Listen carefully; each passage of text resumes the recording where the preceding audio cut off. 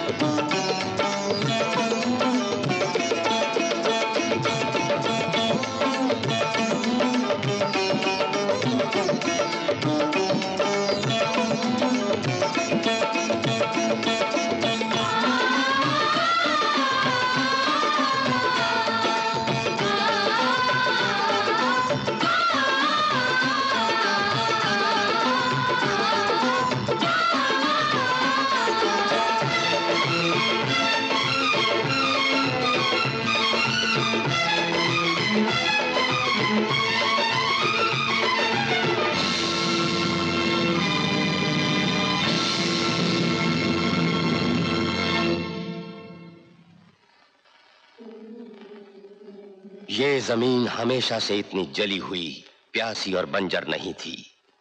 एक जमाना था, जब बादलों के काफिले यहाँ भी डेरा डाला करते थे, और ये ज़मीन सब्ज ओढ़नी ओढ़ लिया करती थी।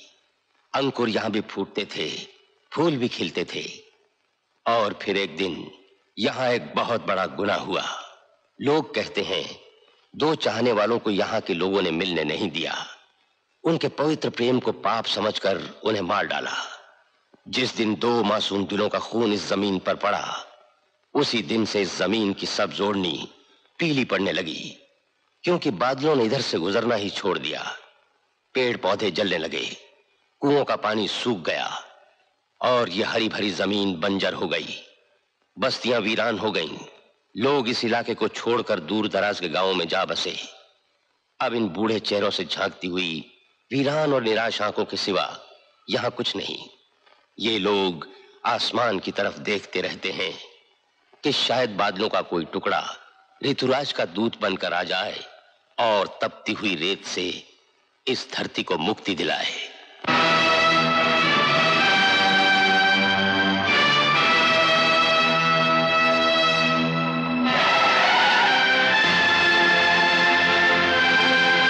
यहाँ का गाड़ी रोक दी सरजू?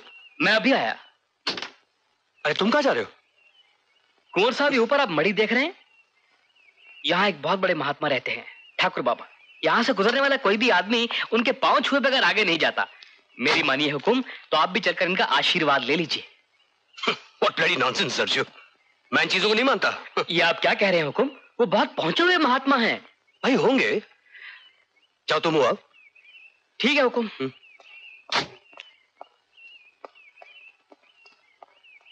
कमाल है साहब।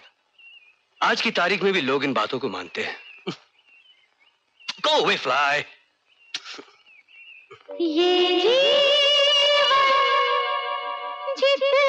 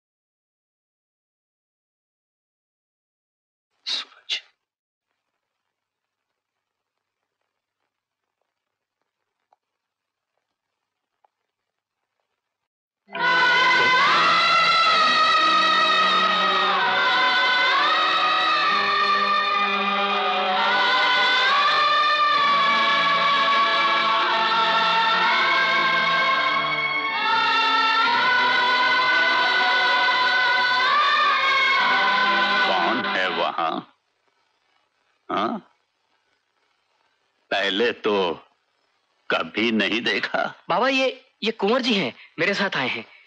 लेकिन ये ऊपर कैसे आ गए?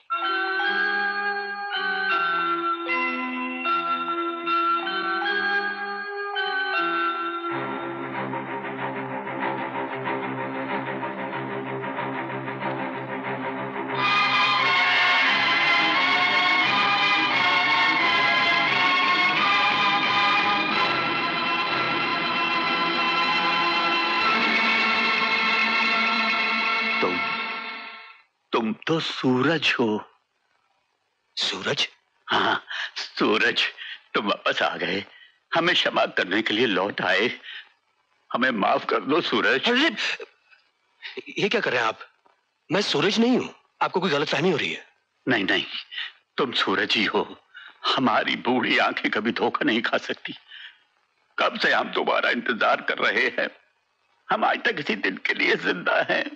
हमारी देवी कहाँ है? देवी? हाँ हमारी बच्ची। तुम आ गए हो तो वो क्यों नहीं आई? उसे कहाँ छोड़ आए? उसने हमसे वायदा किया था कि वो तुम्हारे साथ आएगी। कहा है हमारी बेटी? कहा है हमारी अरे बच्ची? साहब आप आप क्या कह रहे हैं? मेरी तो कुछ समझ में नहीं आ रहा। देखिए मैं कोई सूरज नहीं हूँ। मेरा नाम तुम तो कुमार है। ही? बाबा ये, ये, ये वो, वो नहीं है आप समझ नहीं मैं जानता हूँ सूरज ही। है। सूरज सूरज बेटा हमें इस तरह छोड़ के मत जाओ। ये तो बता दो कि हमारी बेटी कहाँ है सूरज? बाबा पहुंचो मैं। सरजू तुमसे पहले कहा था सब नॉनसेंस है। ये बाबा मुझे सूरज क्यों बुला रहा था? अरे हुकुम ये बाबा बहुत पहुँचे हुए हैं। उल्टी सीधी बातें करते रहते हैं। ये जितने सिद्ध लोग होते हैं इनकी बातें हमारी शट अप सरजू इक्कीसवीं सदी आ रही है तुम लोग इन चीज़ों पे अभी भी विश्वास रखते हो। रिडिकुलस चलो घर लो। राणा मेरा ये घोड़ा तेरा हाथी खा गया। अरे तुम्हें किसी ने बताया नहीं कि घोड़ा वेजिटेरियन होता है? अगर तुमने मेरे हाथी को हाथ लगाया तो तुम्हारी बाजी मात हो जाएगी। हम्म, दोस्तों के साथ खेलने में यही खराबी है कि आदमी चौकन्ना नहीं रहता। हारे भी तो किसे दोस्त से। घी कहाँ गया? खिचड़ी में। नमस्ते भाई साहब। सदा सुहागन रहो। कुमार आ गया? आपको क्या फ़िक्र? आप तो सिर्फ़ शतरंज खेलिए। आपको तो कुमार की जगह शतरंज का बाप होना चाहिए था। भाई ये तो तुम्हें सोचना चाहिए था। वो क्या है majesty queen of my heart. भाई अब हमारे पास हारने जीतने के लिए सिर्फ़ शतरंज की रणभूमि रह गई है। राजपूत हैं लड़ना तो छोड़ नहीं सकते। और फिर बेटा आ रहा है कौन सी मुगलों की फौज आ रही है जो तैयारी करूँ? तुम चलो मैं बाजी पूरी करके आता हूँ।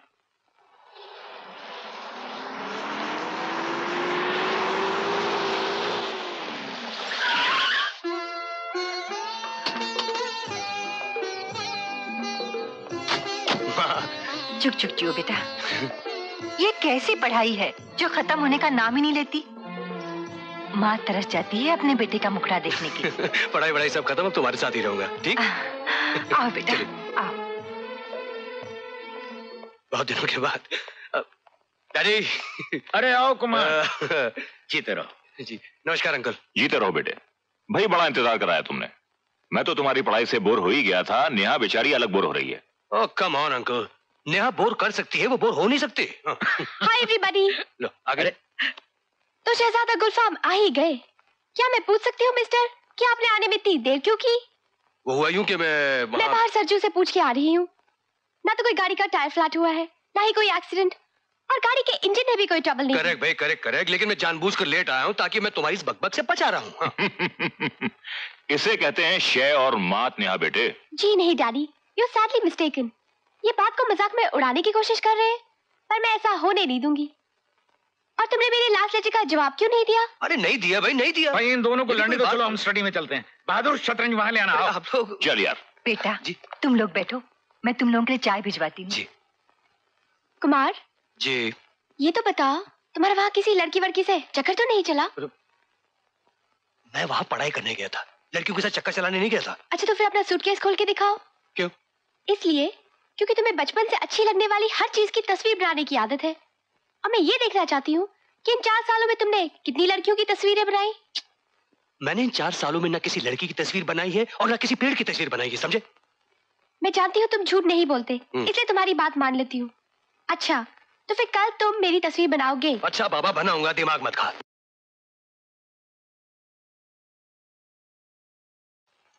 तुम्हें याद है जब हम स्कूल में पढ़ते थे? एक फोटोग्राफर हमारी ग्रुप फ़ोटो लेने आया था। मैं उस फोटोग्राफर को लगातार हंसा रही थी और वो कितना नाराज़ हो रहा था।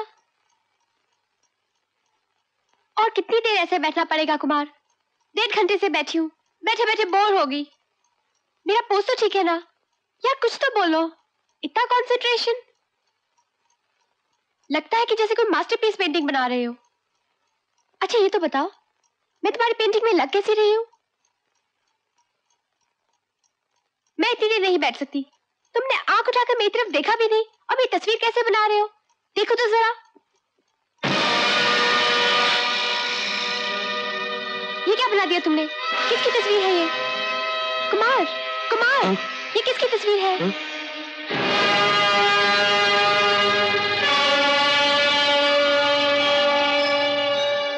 ये ये किसकी तस्वीर बन गई? तुम्ही ने बनाई और तुम्हें नहीं मालूम? तुम मेरा मज़ाक उड़ा रहे हो? नहीं नहीं, मैं सच कह रहा हूँ।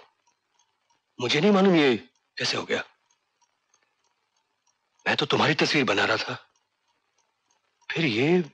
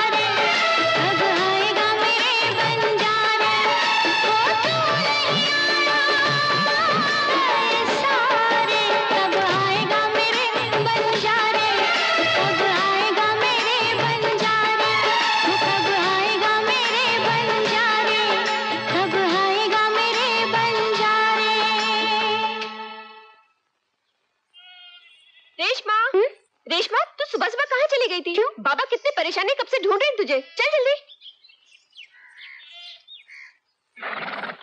तू कहाँ चली गई थी बेटी? मैं मैं सुबह से तुझे तलाश कर रहा हूँ।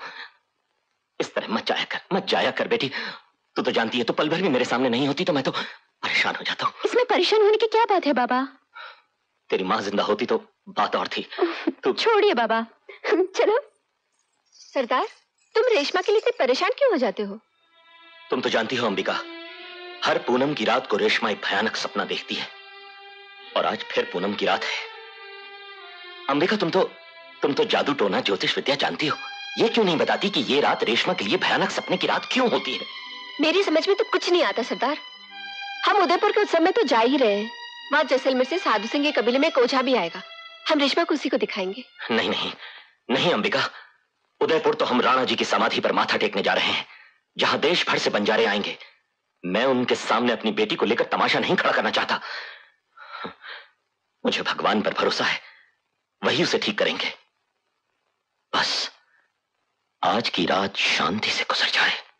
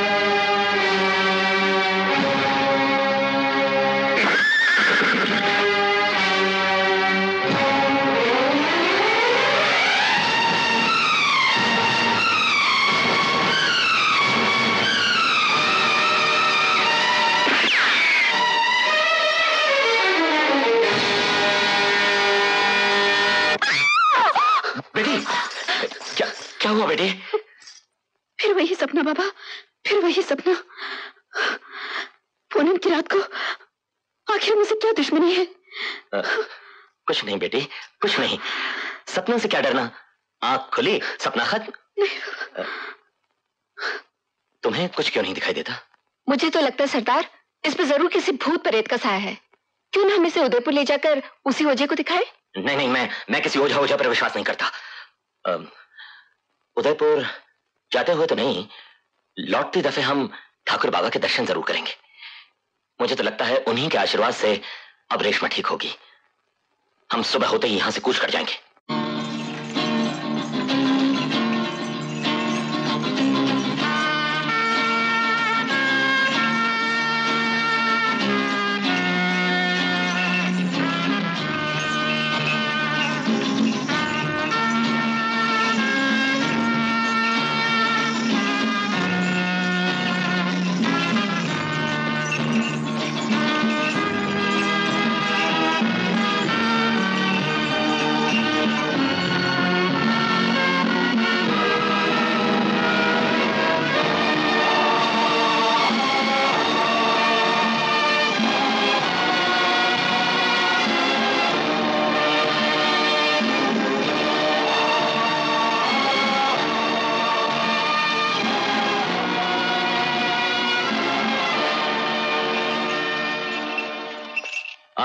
आपका स्वागत है। तशरीफ़ रखिए।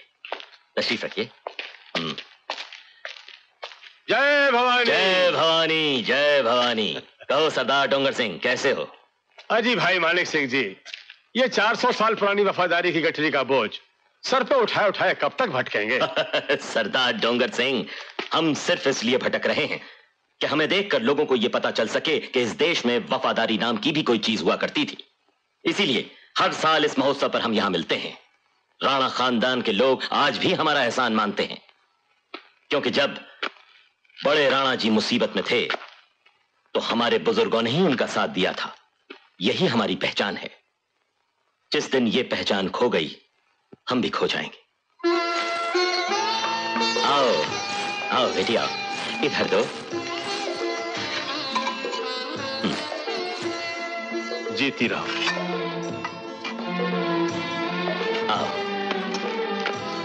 आओ सरदार बैठो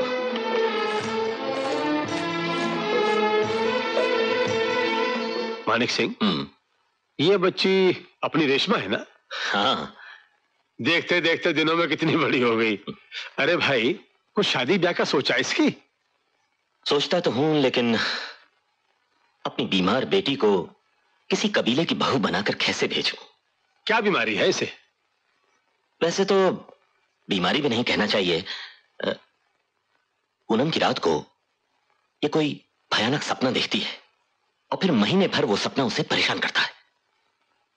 भाई मेरी बात मान, इसका ब्याह कर दे, सब बीमारी दूर हो जाएगी और मैं इसके साथ अपने बेटे शक्ति सिंह की शादी करने को तैयार हूँ। दहेज में सब भयानक सपने ले जाऊँगा। हाँ।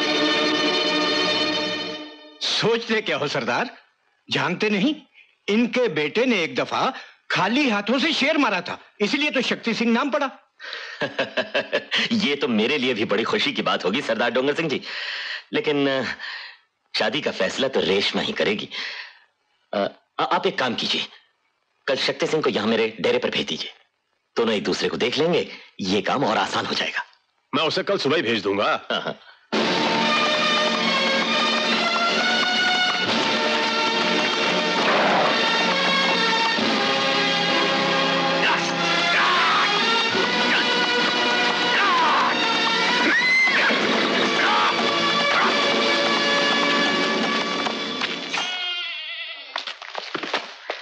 प्रणाम सरदार। जीते रहो मैं शक्ति सिंह हूँ सरदार डोंगर सिंह का बेटा। बाबा ने आपसे मिलने भेजा है। हाँ हाँ आओ अंदर चलकर जलपान करो आओ। हम्म, सरदार मैं जलपान करने नहीं आया। रेशमा से मिलने आया हूँ। रेशमा कहाँ है? रेशमा भी आ जाएगी। तुम चलो बैठो तो सही। हम्म। पता नहीं सुबह सुबह कहाँ चली गई।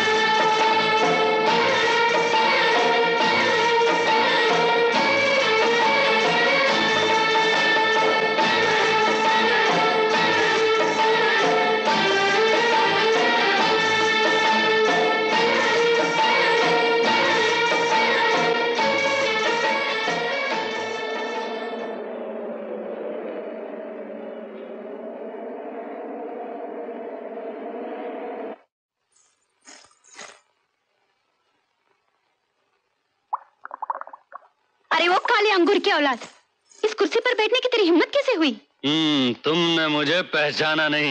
मैं क्यों पहचानू? तुझ जैसे चप्पड़ कनाती को उठ कुर्सी से अरे मेरी बात तो सुनो। अंगूर नीचे रख नीचे रख। देख तू मेरा अपमान कर रही है। तेरा अपमान ना करूँ तो क्या सत्कार करूँ? तो ताश के गड्ढे से निकलकर यहाँ आया कैसे? ताश की गड्डी हाँ क्या तू चिड़ी का गुलाम नहीं है? चल चल फुट यहाँ से। ए, बकवास बंद कर जानती है मैं कौन हूँ? कौन है तू? मैं सरदार डोंगर सिंह का बेटा और इस कबीले का होने वाला जवाई शक्ति सिंह हूँ। अरे वो घूंचू मेरे बाबा अपनी इकलौती बेटी को तो जैसे चिड़ी मार से बिहाएँगे क्या? अब जाता है कि मैं, अरे ये तुम क्या कर रही हो बेटी? मैं इसे मैं इसे मार डालूँगी बाबा। इसकी इतनी हिम्मत कैसे हुई कि तुम्हारी कुर्सी पर बैठकर तुम्हारा तुम्हारा हुक्म भी अरे बेटी इसे मैंने ही यहाँ बुलाया है। हा? मैं चाहता था तुम दोनों एक दूसरे को अच्छी तरह से जान लो ताकि तुम्हारे रिश्ते की बात क्या बाबा? तुम्हें मेरे लिए मेरे लिए ये चूहा ही मिला था। ये चूहा? छी छी छी अरे मैंने इन्हीं हाथों से शेर मारा है शेर। क्या? क्या क्या कह रही तू? हैं? गाली दे रही हूँ। बाबा के सामने तो ज़ोर से नहीं बोल सकती हूँ ना इसलिए। जितनी मर्ज़ी गालियाँ दे ले। लेकिन जब मेरी दुल्हन बनकर मेरे कबीले में आएगी ना तब देखूँगा कैसे देती है गालियाँ। अच्छा बाबा चलता हूँ। जी तेरा। मुँह देखो शादी करने चला है बंदर। बंदर? क्या? ये सवेरे सवेरे आपके बरखुरदार कहाँ चले गए? यहीं कहीं होगा। लो आ गया हम्म। Good morning dad good morning morning बेटी। आज सवेरे सवेरे कहाँ चले गए थे बेटे? अजीब सी बात हुई। सवेरे जब मेरी आँख खुली तो एक लड़की बड़ी सुरीली आवाज़ में गा रही थी। मुझे ऐसा लगा कि जैसे वो आवाज़ मुझे अपनी तरफ़ खींच रही है। मैं उसी आवाज़ को तलाश करता हुआ बड़े बाग की तरफ़ चला गया। तो मिली वो आवाज़? नहीं जब वहाँ पहुँचा तो लड़की गायब थी। स्ट्रेंज इस उम्र में अक्सर ऐसी आवाज़ें सुनाई देती हैं बरखुरदार। पर उनके पीछे नहीं भागना चाहिए बल्कि खुद उनको अपने पीछे भगाना चाहिए। हाँ। लगता है आपको अपनी वो उम्र याद आ रही है। आजकल बंजारों के कई कबीले यहाँ आए हुए हैं। लगता है कोई बंजारन गा रही होगी। वो लोग बहुत अच्छा गाते हैं। बंजारन? उनकी आवाज़ में हमारे रेगिस्तान की आत्मा है। ये बंजारे यहाँ क्यों आए हुए हैं? बेटे वो हर साल यहाँ बहुत दूर दूर से आते हैं और बड़े राणा जी का जन्मदिन बहुत धूमधाम से मनाते हैं और हम भी उनकी खुशी में शामिल होते हैं। बड़े राणा जी के बुद्ध के सामने वाले मैदान में आज बंजारों का उत्सव है। आज तुम भी हमारे साथ चलना बेटे। मैं? नहीं आज तो मैं बाहर खाने पे जा रहा हूँ और फिर ऐसे फालतू प्रोग्रामों के लिए वक्त किस बात से? बेटे ऐसा नहीं कहते। वो इतनी दूर से आते हैं हमारी इतनी इज़्ज़त करते हैं। हमारा फ़र्ज़ है कि उनके हर प्रोग्राम में हम शामिल हो। लेकिन डैड दिन में ना सही पर आज रात को उनके नाच गाने का प्रोग्राम है। और खास तौर से तुम्हें बुलाया है। हम सबको वहाँ शामिल होना चाहिए। Okay oh, okay.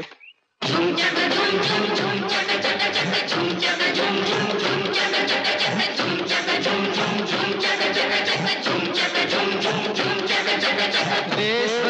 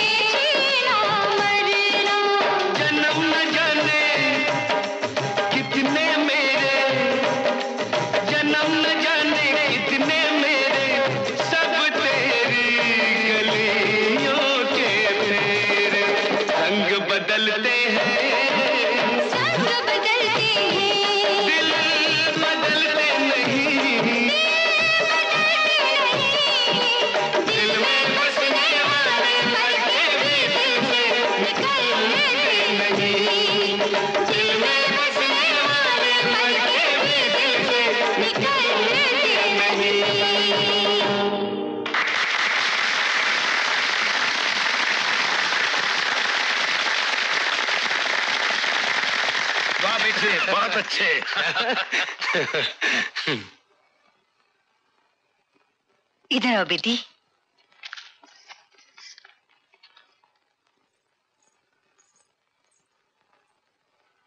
जीती रहो। बहुत अच्छा गाती हो।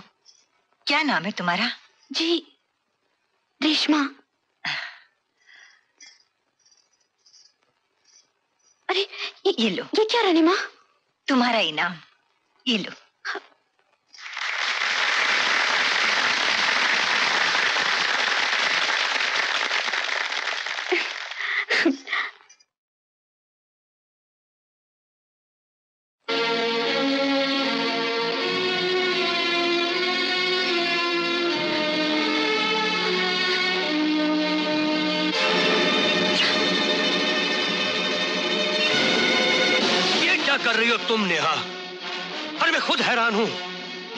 बंजारन दोनों मेरे लिए पहली हैं। तो बिना उस लड़की को देखे तस्वीर कैसे बन गई?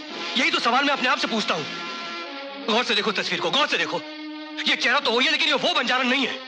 ये जेवर ये कपड़े ये तो फिर ये तस्वीर किसकी है? यही तो मुझे नहीं मालूम नहीं मालूम मुझे। तुम झूठ बोल रहे हो। मैं झूठ कभी नहीं बोलता नेहा। जिस दिन मुझे इस तस्वीर की असलियत मालूम पड़ जाएगी सबसे पहले मैं तुम्हें आके बताऊँगा। याद रखना।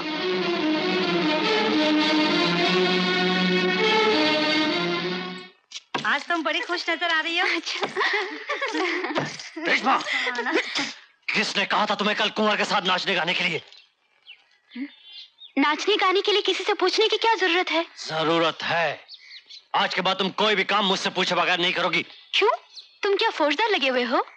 मेरी तुम्हारे साथ शादी होने वाली है। अच्छा अच्छा अच्छा ये मुझसे शादी करेगा। कभी शक्ल देखी अपनी अरे अंबिका। सरदार देखो तो आज रेशमा कितनी खुश नज़र आ रही है। हाँ लेकिन ये खुशी थोड़ी ही देर के लिए है। क्यों सरदार?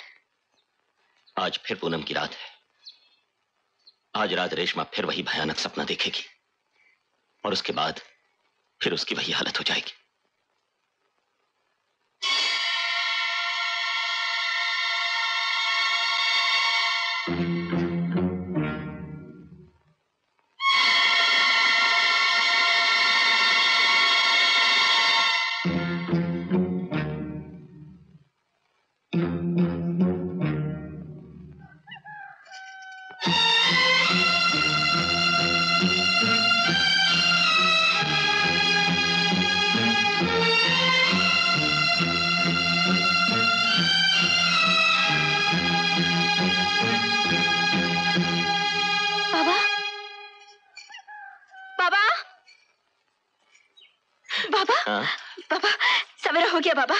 सवेरा? हाँ बाबा सवेरा। पूनम की रात का सवेरा। मैं रात भर गहरी नहीं सोई कोई सपना नहीं देखा। अच्छा? मैं उस सपने के कैद खाने से आज़ाद हो गई बाबा। भगवान का लाख लाख शुक्र। रेशमा हाँ। जानती है? माँ भवानी ने ही तुझे इस भयानक सपने से छुटकारा दिलाया। बड़े मंदिर जा माँ के दर्शन कर और उनका आशीर्वाद ले। जल्दी कर।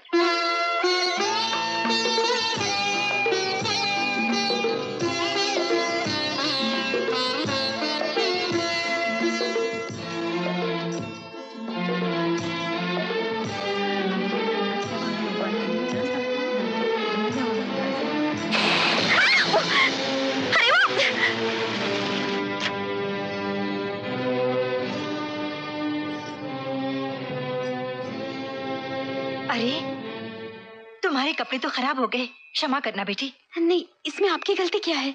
गलती तो उस ड्राइवर की है। तुम रेशमा हो ना? कल हमारे बेटे के साथ उत्सव में गाना गा रही थी। तो तुम आओ मेरे साथ। मैं तुम्हें कुछ कपड़े देती हूँ। बदल लेना। नहीं नहीं मैं डेरे पर जाकर बदल लूँगी। इसका मतलब तुमने हमें माफ़ नहीं किया। नहीं नहीं ऐसे नहीं रानी माँ। बाबा मेरा रास्ता देख रहे होंगे। ओह, इसके बाबा से कहना ये हमारे साथ जारी है। हमारी गाड़ी इसे डेरे तक छोड़ देगी। जी अच्छा रानी माँ। अच्छा। चलो हाँ चले।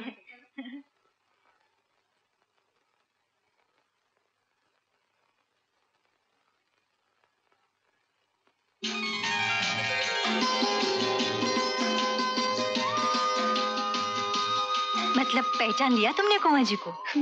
इन्हें कैसे नहीं पहचानेंगे रानी माँ हुकुम? अभी कल की ही तो बात है। कैसे झूम के नाच रहा था तुम लोगों के साथ। आओ बेटी आओ।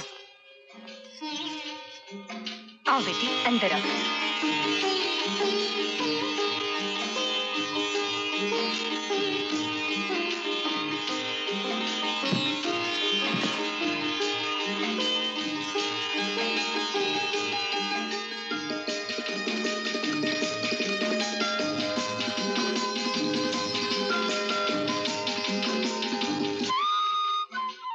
ये तुम्हारे रंग से मेल नहीं खाती। ये भी नहीं। ये भी नहीं। हाँ ये अच्छी रहेगी। बहुत सजेगी तुम पर। ले पहन ले बेटी।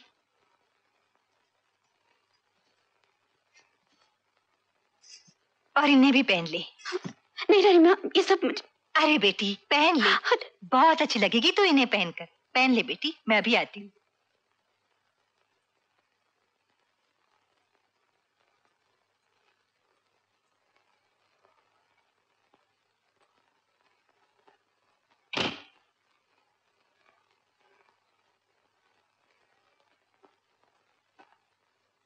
मुँह उधर कीजिए कुंवर जी। मुझे कपड़े बदलनी है।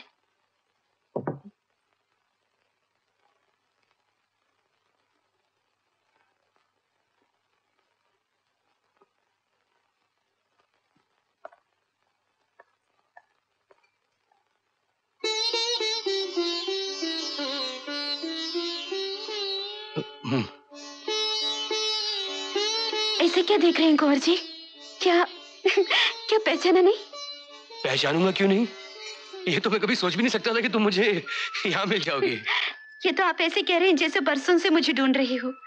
और जब मैं एकदम मिल गई तो हैरान रह गए एक बात बताऊँ तुम्हें? मैं अपने एक दोस्त की तस्वीर बना रहा था।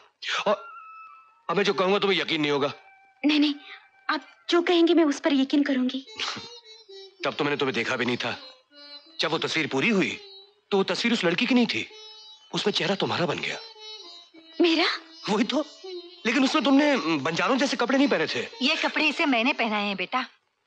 अरे तुम तो एकदम बदल गई हो। कुमार जी।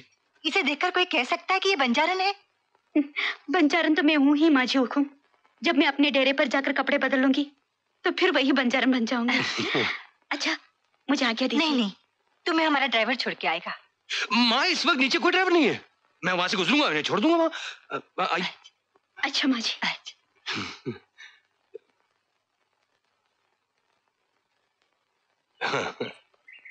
आइए।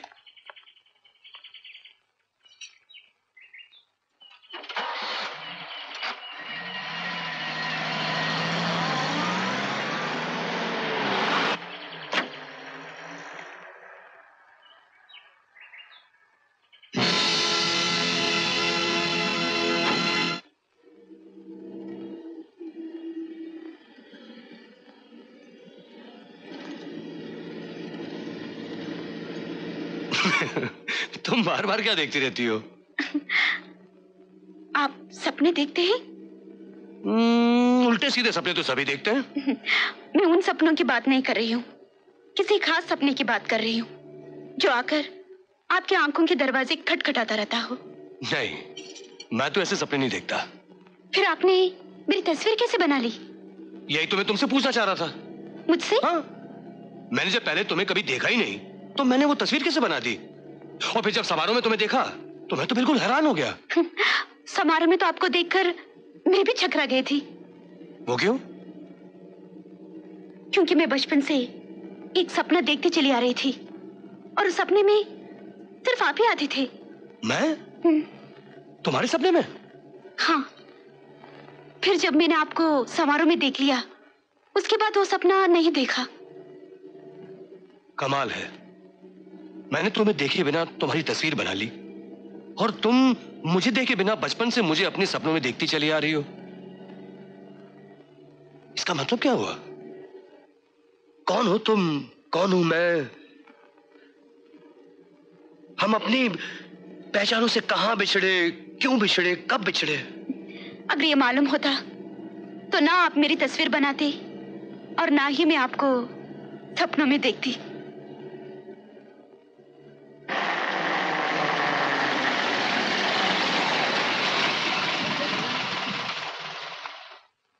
रेशमा ये तो बताओ तुम्हारे बाबा बुरा तो नहीं मान गए? किस बात का? अरे मैं जो तुम्हारे साथ नाचा गाया नहीं। और तुम्हारे कबीले वाले?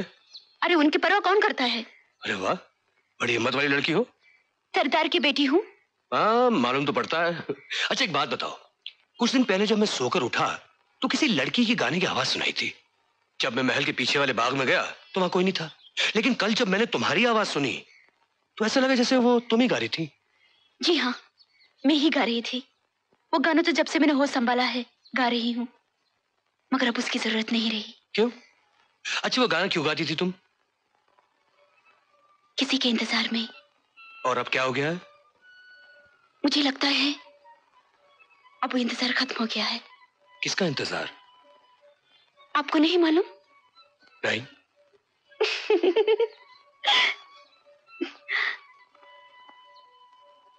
आपका। हम्म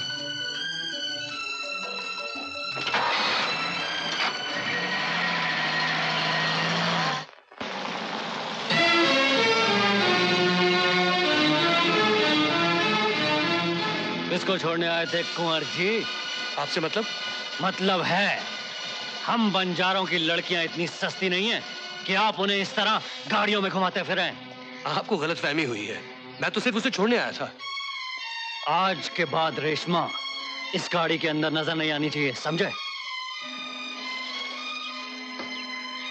क्यों? वो तुम्हारी जागीर है। जागीरें तो आजकल ठाकुरों के पास भी नहीं रही हैं। आज के बाद मैं उसकी परछाई के पास भी तुम्हारी जीप को नहीं देखना चाहता। बकवास बंद करो और मेरे रास्ते से हट जाओ वरना मैं तुम्हें शहर से बाहर फेंकवा दूँगा। अच्छा? अरे कोशिश करके तो देखो। आओ लगाओ हाथ। अपनी औकात में अरे तो शक्ति बावला हो गया क्या? जानता नहीं कौन है हुकुम? माफ़ी चाहूँगा सरकार। ये आपको पहचानता नहीं। अरे डेरे में चल बावले क्या हो गया तुझे? एक लड़की को तू काबू नहीं कर सकता और क्या करेगा ज़िंदगी में तू? मैं क्या करूँ बाबा? जब भी बात शुरू करता हूँ कटार की तरह खिंच जाती है। और खाली हाथों शेर को मार डालने वाला शक्ति सिंह वो कटार देखकर डर जाता है भाग जाता है। लड़की और शेर में फ़र्क होता है बाबा। फिर ऐसा क्या उस रेशमा में? कौन से सुरखाव के पर लगे उसमें? सुरखाव क्या चीज़ होती है? रेशमा को हीरे जवाहरात के पर लगे हुए हैं। उसके बाप के पास बेशुमार दौलत है। पुराने जमाने के बहुत ही कीमती हीरे हैं जो कि तुम्हें रेशमा के दहेज में मिल सकते हैं। उसके बाद हम इन्हीं राणों के सामने इनसे बड़ा और शानदार महल बनाकर ठाट से रहेंगे। बेटा मेहनत कर मेहनत। रेशमा को हाथ से मत जाने दे वरना तो ज़िंदगी भर पछताएगा।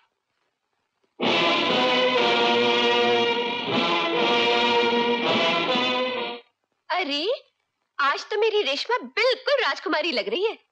कहाँ से आ रही है तू? तो? बड़ी हवेली से। बड़ी हवेली? हाँ। और ये कपड़े? रानी माँ ने दिए हैं वो बहुत अच्छी है। वो तो अच्छी है ही। मैं तो कल ही समझ गई थी जब उन्होंने अपने गले का हार निकालकर तेरे गले में डाल दिया था। भला कौन करता है सब कुछ आजकल? पर तेरे मुख पे जो आज चाँद निकला है ना वो सिर्फ़ इन कपड़ों का तो नहीं हो सकता। मुझे लगता है इन कपड़ों के पीछे और भी कोई बात है। क्या बात है वो? वही राज मैं बताने आई हूँ अंबिका। क्या राज है वो? मैं अपने सपने में जैसे देखा करती थी वो, वो यही कुंवर जी है। कुंवर जी? हाँ वही तो। मैं तो उन्हें उत्सव में देखते ही पहचान गई थी। मगर मगर आज जब मैंने उन्हें हवेली में देखा और वो मुझे यहाँ छोड़ने आए तो मुझे ऐसा लगा जैसे मैं उन्हें जैसे मैं उन्हें बरसों से जानती हूँ। और फिर उन्होंने मुझे अपनी एक बात बताई। मैं तो मैं तो हैरान रह गई। तुम भी नहीं मानोगी इस बात को। अच्छा क्या बात है वो? मुझे मिलने से पहले ही उन्होंने मेरी एक तस्वीर बनाई थी। तेरी तस्वीर? हाँ वो खुद हैरान है कि मुझे देखे बिना वो तस्वीर कैसे बन गई। इसका क्या मतलब है, अम्बिका? पता नहीं। मुझे सोचने दे। मुझे देखने दे। वो आदमी जो तेरे सपने में आता था, वो कुंवर जी है। उन्हें देखने के बाद तुझे वो सपना नहीं आया। और तुझे देखे बिना उन्होंने तेरी तस्वीर बना दी। इसके पीछे ज़रूर कोई कहानी है। तुम दोनों के मिलन की अधूरी कहानी। मुझे ऐसा लगता है, रिश्मा। तुम दोनों एक दूसरे के लिए बने हो। इस दुनिया की कोई भी शक्ति अब तुम दोनों को अलग नहीं कर सकती।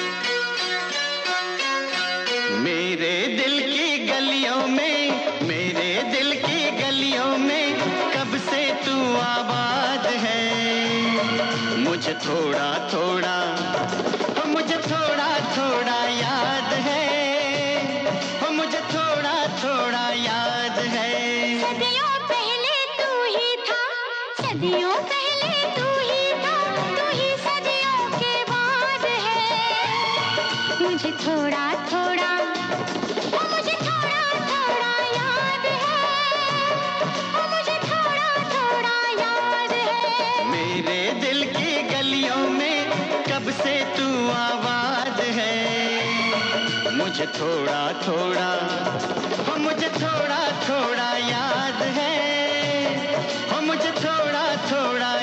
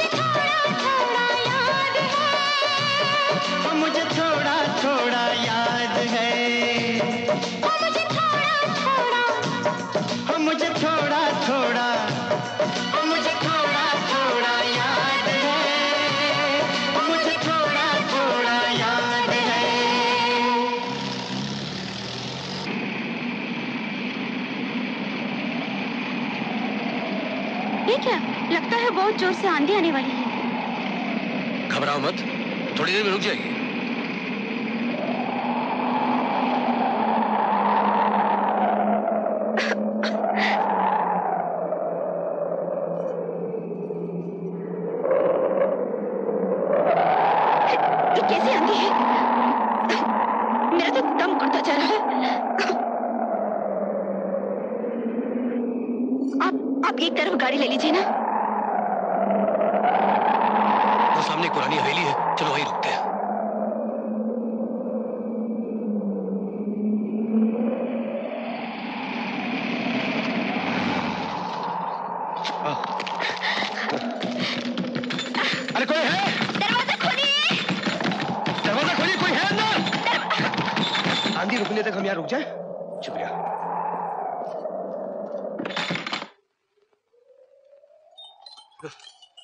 चली हाँ?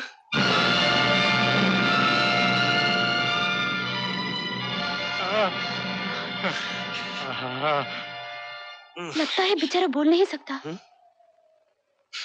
अरे, ये, ये क्या करे बाबा? मैं तो तुम्हारी बेटी समान हूँ।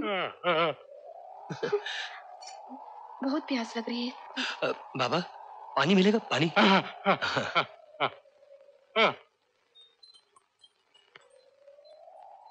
हम्म ये हवेली किसी जमाने में बड़ी शानदार रही होगी। ऐसी वीरान हवेली में ये अकेला रहता है? हाँ। बाबा आंधी खत्म हो जाएगी हम चले जाएँगे। हाँ। थैंक यू हाँ। हाँ हाँ हाँ जी। हाँ हाँ हाँ क्या कहना चाह रही है? मालूम नहीं।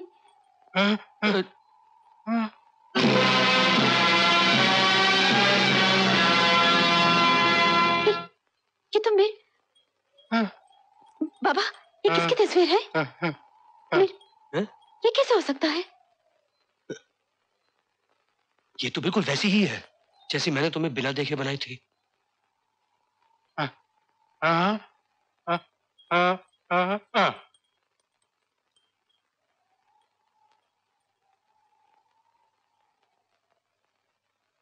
जो तस्वीर मैंने बनाई थी रेशमा वो तुम्हारी नहीं इस लड़की की थी।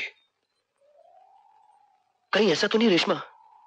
जैसे वो तस्वीर वाली लड़की तुम नहीं हो वैसे ही तुमने मुझे नहीं किसी और को देखा सपने में? नहीं कुंवर जी मैं तो सपने में सिर्फ़ आपको ही देखती थी। इसके पीछे ज़रूर कोई राज है।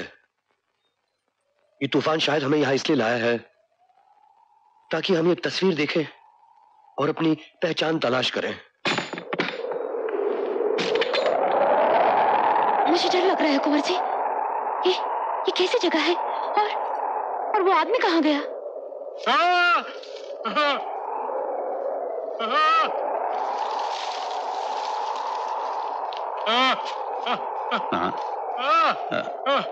गिर जा क्या बात है।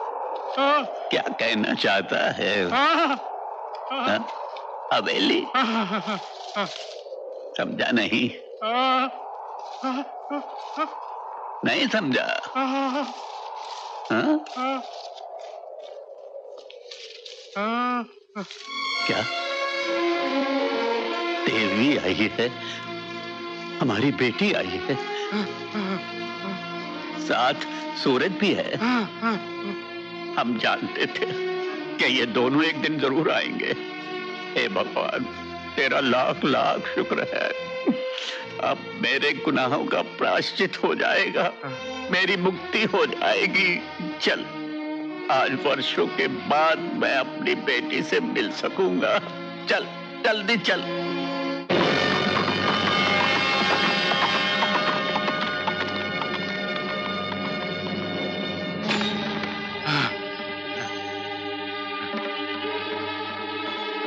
कहाँ हैं दोनों?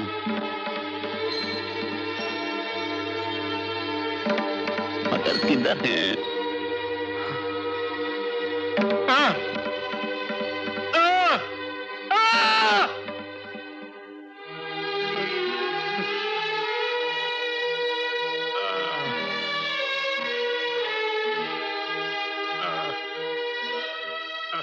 चिंता ना कर गिरजा अब तो उन दोनों ने दूसरा जन्म ले ही लिया है।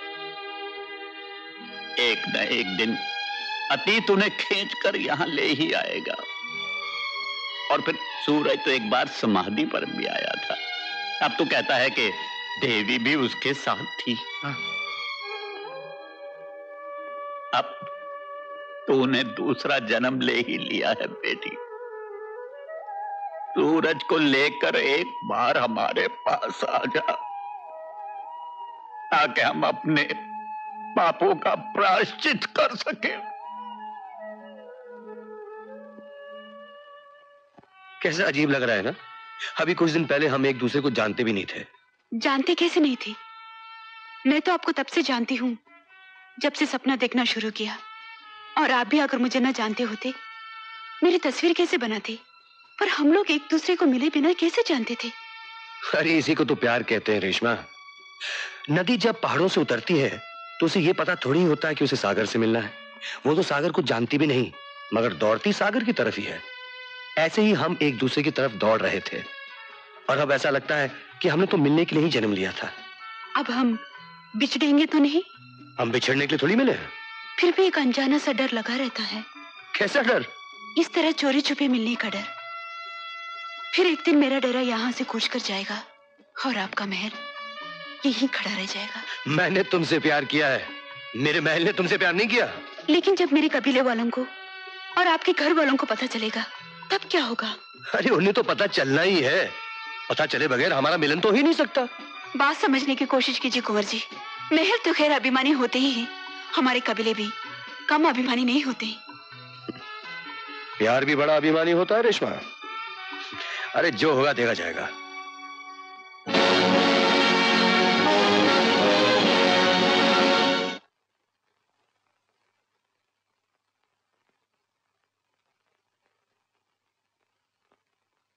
ये सब तो ठीक है लेकिन वो हीरो का जुगनू कहाँ है? बस सरकार वो भी कल परसों तक आ जाएगा। क्या है कि इस काम का खास कर एक काम में देर नहीं होनी चाहिए नया बेटी अच्छा हुआ तुम आ गई। लड़का तो तुमने अपनी पसंद का चुनी लिया है। अब जेवर भी चुन लो हाँ?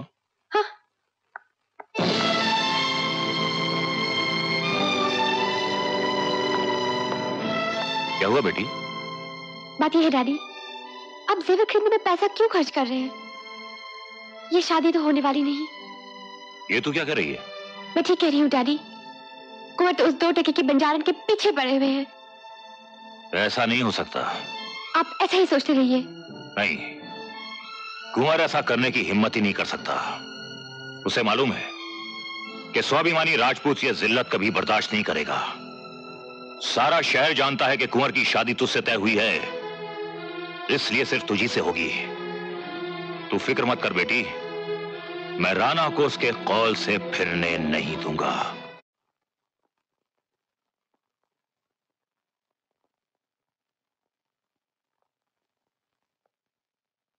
आओ आओ, रणजीत सिंह, आओ। खूब वक्त पर आए। देखो भाई, ये कैस्प्रूर कारपो का गेम है। मेरी समझ में नहीं आ रहा, कारपो ने सिक्स गेम में प्यादे को आगे कैसे बढ़ा दिया? अपनी बाजी जीतने के लिए तो लोग अपना वज़ीर तक पिटवा देते हैं राणा उदय भान सिंह शिशोदिया मैंने तो सोचा था कि हमारी दोस्ती ने हमारी खानदानी दुश्मनी को दफन कर दिया है। लेकिन अब पता चला कि शिशोदिया राजपूत दोस्ती को भूल सकता है दुश्मनी को नहीं। तुम लोग सिर्फ़ दुश्मनी निभाने के लिए ही ज़िंदा रहते हो। तुम ये क्या पक रहे हो, रंजीत? मैं ठीक कह रहा हूँ, राणा। तुमने मुझे इस मुगालते में रखा कि कुमार का ब्याह नेहा के साथ होगा। लेकिन यह आवाज़ तुम्हारे दिल की नहीं थी। हमें जलील करने के लिए तुम ये सब घटिया खेल खेलते रहे। रंजीत, आवाज़ ऊँची मत करो, राणा। तुमने जब ये देख लिया कि ये बात सारी राजपूत बिरादरी में फैल चुकी है कि मेरी बेटी का ब्याह तुम्हारे बेटे से तय हो गया है तो तुमने अपने बेटे को उस बंजारन लड़की से इश्क करने की छूट दे दी। ये क्या बकवास कर रहे हो तुम? ये बात शहर का बच्चा बच्चा जानता है राना हम सोच भी नहीं सकते थे कि सिसोदिया खानदान का चश्मो चराग इस तरह अपने खानदान की मान मर्यादा को सड़क की गंदी नाली में घसीटता फिरेगा ये जानते हुए भी कि हम एक शरीफ राजपूत घराने में तुम्हारी शादी तय करने का फैसला कर चुके हैं। तुमने एक पंजारन से इश्क करने की बदतमीजी की। डैडी मैंने कब कहा कि मैं नेहा से शादी करना चाहता हूँ? या उसे शादी करूँगा। तुम होते कौन हो ये कहने वाले? ये कहना हमारा काम है कि तुम किससे शादी करोगे? और उसे मानना तुम्हारा फ़र्ज़ है। इश्क तो एक खिलवाड़ है जिसके लिए हम तुम्हें माफ़ भी कर सकते हैं।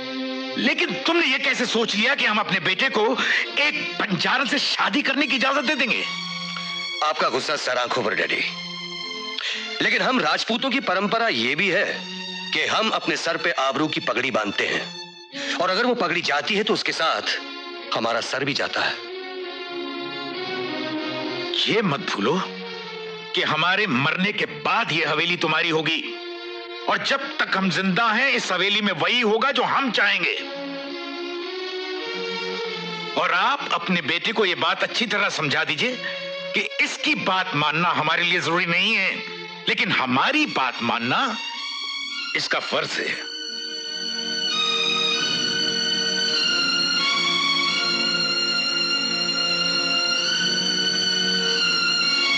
माँ, क्या आप भी इन हवेली की गूँगी बहरी दीवारों की तरह डैडी से सहमत हैं? क्या आपके लिए भी एक एक ज़िंदा इंसान की कोई अहमियत नहीं? ऐसी बात नहीं है, कुमार। पर हम लोग किसी और सांचे में ढले हुए हैं। अपने डैडी को बर्दाश्त करना सीखो।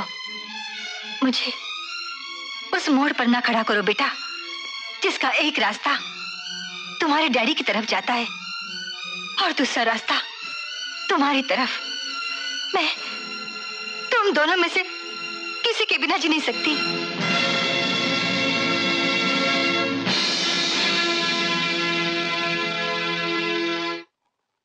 हुजूर आपने याद किया? हाँ। हमने तुम्हें इसलिए बुलाया है कि तुम्हें हुक्म दे सकें कि कल का सूरज निकलने से पहले तुम लोग यहाँ से चले जाओ।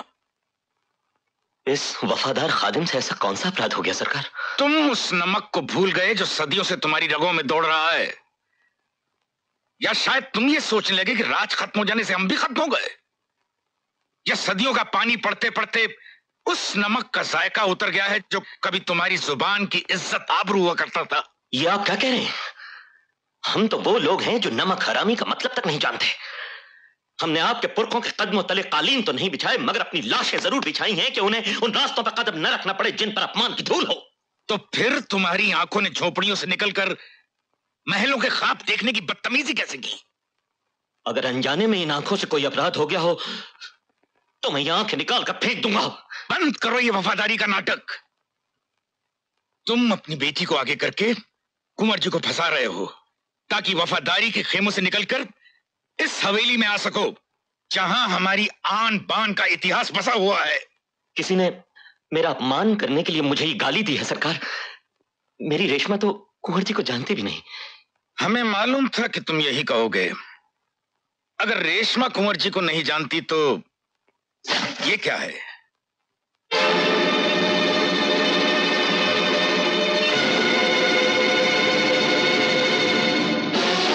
तस्वीर तो रेशमा की ही है सरकार। और ये तस्वीर कुंवर जी ने बनाई है। अगर तुम्हारी बेटी कुंवर जी को नहीं जानती तो उन्होंने ये तस्वीर कैसे बनाई?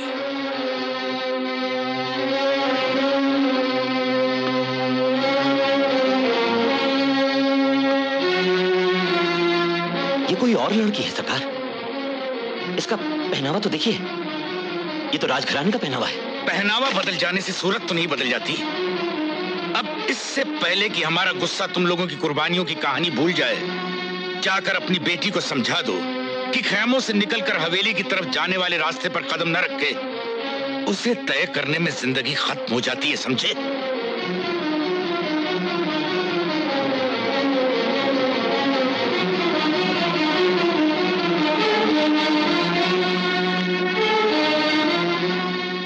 हम बंजारों को किसी को मुँह दिखाने लायक नहीं छोड़ा।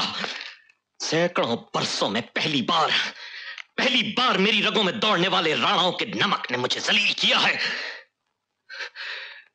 आज जो कुछ भी मैंने सुना वो अगर राणा जी के अलावा कोई और कहता तो बंजारों की आन की कसम मैंने उसके टुकड़े टुकड़े कर दिए होते। क्या कहा राणा जी ने? उन्होंने मुझ पर इल्ज़ाम लगाया है कि मैं झोंपड़ों में रहकर महलों के ख्वाब देख रहा हूँ। साथ ही उन्होंने ये भी कहा है कि मैं तुझे अपनी बेटी को आगे करके कुंवर जी को फंसाना चाहता हूँ। कब से जानती है तू कुंवर जी को? उस दिन समारोह में पहली बार देखा था। झूठ मत बोल। अगर तू उन्हें नहीं जानती थी तो उन्हें देखते ही तूने अपने सर से उदासी की चादर क्यों उतार कर फेंक दी?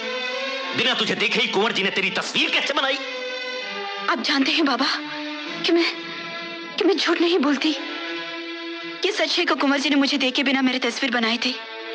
और उस दिन समारोह में उन्हें देखते ही मैंने उदासी की चादर इसीलिए उतार के फेंकती थी क्योंकि मैं बरसों से अपने सपनों में जिसे देखती थी वो कोई और नहीं कुंवर जी थे। क्या आप बात कर रही है? हाँ बाबा ये सच है। अब इसके पीछे क्या राज है मैं नहीं जानती। अब, नहीं मैं ये सब नहीं मानता। ये बकवास है। हम आज यहाँ से कूच कर जाएँगे। नहीं बाबा ऐसा मत करना। मैं मर जाऊँगी। इसका मतलब जो राणा जी ने कहा वो सच है। आप कुछ भी समझिए बाबा। मैं जी के बिना नहीं जी सकती। तेरी ये हिम्मत? मेरे सामने इस तरह की बात करे। एक बात कान खोलकर सुन ले। आज से अगर तेरी जबान पर कुंवर जी का नाम भी आया तो मैं तेरी जबान काट दूँगा।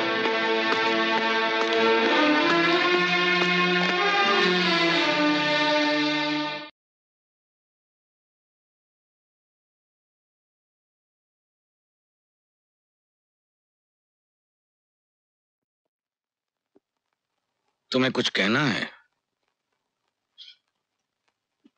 डैडी आज तक आपने मेरी हर ख्वाहिश पूरी की है। मैंने जो कुछ भी मांगा उससे ज़्यादा मिला। मेरी आखिरी ख्वाहिश पूरी कर दीजिए। मैं उसके बाद आपसे कुछ नहीं मांगूँगा। मुझे अपनी तुम्हारी इस हट के लिए हम अपने खानदान के 900 साल पुराने और शानदार इतिहास के सामने छोटा नहीं पड़ सकते। आप जिस इतिहास की बात कर रहे हैं वो पीते हुए दिनों की कहानी है डैडी। मुझे क्या इतना भी हक नहीं कि मैं अपनी ज़िंदगी का फैसला खुद कर सकूँ? इस हवेली में सारे फैसले हम करते आए हैं। और जब तक ज़िंदा है सारे फैसले हम करते रहेंगे। हमने फैसला कर लिया है कि तुम्हारी शादी ठाकुर रणजीत सिंह की बेटी नेहा के साथ ही होगी। जाओ और हमारे इस फैसले के साथ जीना सीखने की कोशिश करो। मैं नहीं चाहता था कभी ज़िंदगी में ऐसा वक्त आए जब मुझे आपकी बात ना मानने पर मजबूर होना पड़े। मगर आपने मुझे घसीट कर वही ला खड़ा कर दिया है। अब आप मेरा फैसला भी सुन लीजिए। मैं नेहा या आपकी पसंद की किसी लड़की से शादी नहीं कर सकता। ये क्या कर रहे हैं आप? इस तरह जवान बेटे पर हाथ उठाते हैं क्या? जो बेटा इस हवेली की बेदाग दीवारों पर बेआबरूई का कीचड़ उछालने की कोशिश कर रहा हो उस पर हाथ तो क्या मैं उसके माँ बाप अपने बच्चों की खुशियों के लिए अपना सब कुछ नौछावर कर देते हैं। और आप? सिसोदिया वंश के लोग औलाद के लिए खून बहा सकते हैं। लेकिन उसके लिए अपने खानदान पर जिल्लत का पैबंद नहीं लगा सकते। अगर इसने एक वेश्या से शादी करके गुमनामी की किसी अंधेरी गुफा में ज़िंदगी गुजारने का फैसला कर ही लिया है तो इस हवेली में इसके लिए कोई जगह नहीं। किसी अंधेरी गुफा में गुमनामी की ज़िंदगी उस जगह से कहीं बेहतर है जहाँ के बुज़ुर्ग अपनी बहू को वैश्य कहकर पुकारते हैं। चलता हूँ मैं। बेटा रुक जा। जाने दो इसे। हम समझेंगे कि हमारी कोई औलाद ही नहीं थी। कहाँ जा रहे हो? इन बेहतर दीवारों से दूर। परंपराओं की जंजीरों को तोड़कर आज मैं इस घर को हमेशा के लिए छोड़कर जा रहा हूँ। ये क्या पागलों जैसी बातें कर रहे हो? इस तरह कोई अपना घर अपने माता पिता छोड़कर जाता है? उस बंजारन के लिए तुम अपनी जड़ों से नाता तोड़ लोगे जो जड़ें मुझसे मेरे दिल का लहू मांग रही हो? वो जड़े मेरी हो ही नहीं सकती। इस वक्त तुम बहुत गुस्से में हो। तुम जानते नहीं कि तुम क्या कह रहे हो। चलो मेरे साथ मेरे घर। देखो नेहा शायद तुम्हें मेरी तरफ़ से बहुत बड़ी गलतफहमी हुई है। मैंने तुमसे कभी शादी का वायदा नहीं किया था, और ना ही मैंने तुम्हें कभी अपनी पत्नी के रूप में देखा। है अगर तुमने अपनी तरफ़ से कुछ सोच रखा है तो मुझे जिम्मेदार नहीं ठहराया जा सकता। एक बात तुम साफ़ साफ़ समझ लो, तुम्हारी और मेरी शादी कभी नहीं हो सकती, करेक्ट? कभी नहीं हो सकती।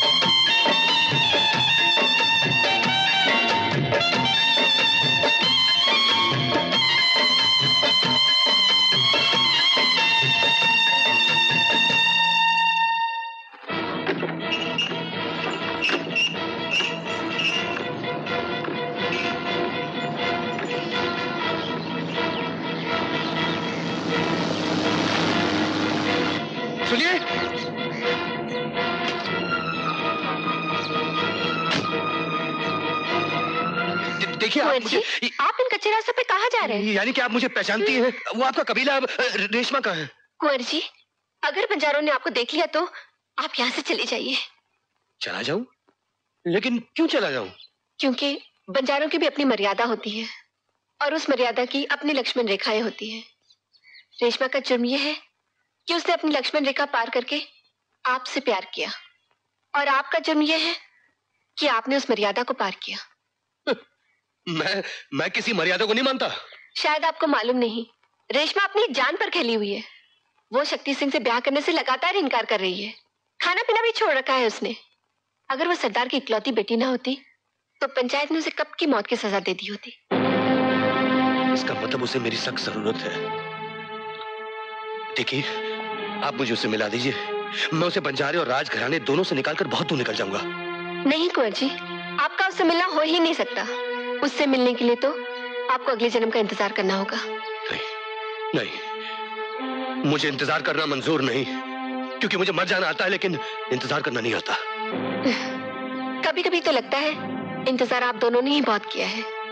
देखो कुंवर जी मैं आपको तो उसके पास नहीं ले जा सकती मगर उसको आपके पास लाने की पूरी कोशिश करूँगी। अभी तो घायल शेरनी की तरह अपने पास किसी को आने भी नहीं देती। मैं आपसे फिर मिलूँगी अच्छा?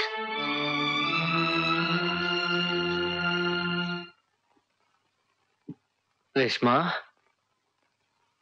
आओ, अंदर आओ। यहाँ, यहाँ रखो। जल्दी जल्दी, सब लोग रखो। चलो, जाओ तुम लोग तुम लोग बाहर जाओ।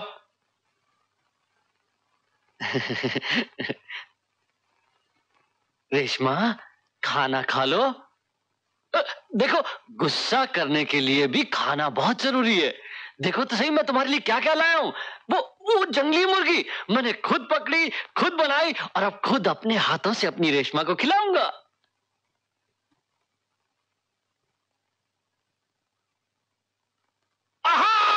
मैं जानता था, मैं जानता था। इतने अच्छे खाने की महक सूंघकर कोई इससे दूर रह ही नहीं सकता। जानती हो, जब मेरी माँ मरी तो मेरे बाबा ने यही खाना बना के मेरी माँ की लाश के पास में रख दिया। मेरी माँ उठी, खाना खाया और फिर से मर गई। मिलावट। अगर तू बाहर नहीं गया ना तो मैं तुझे खा जाऊँगी।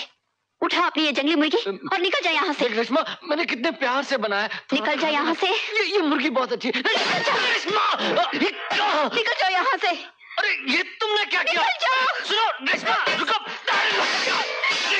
मेरी बात चले जाओ अरे मैं तुम्हारा होने वाला बहुत खतरनाक आदमी हूँ। क्या अरे ये क्या हालत है तुम्हारी? बेटा तुम तो रेशमा को खाना खिलाने गए। गया तो खाना ही खिलाने था मगर तुम्हारी बेटी ने मेरा ये हाल कर दिया। मैं सच कहता हूँ सरदार तुम्हारी बेटी सड़क गई है। पागल हो गई है वो। नहीं बेटा ऐसी बात नहीं है।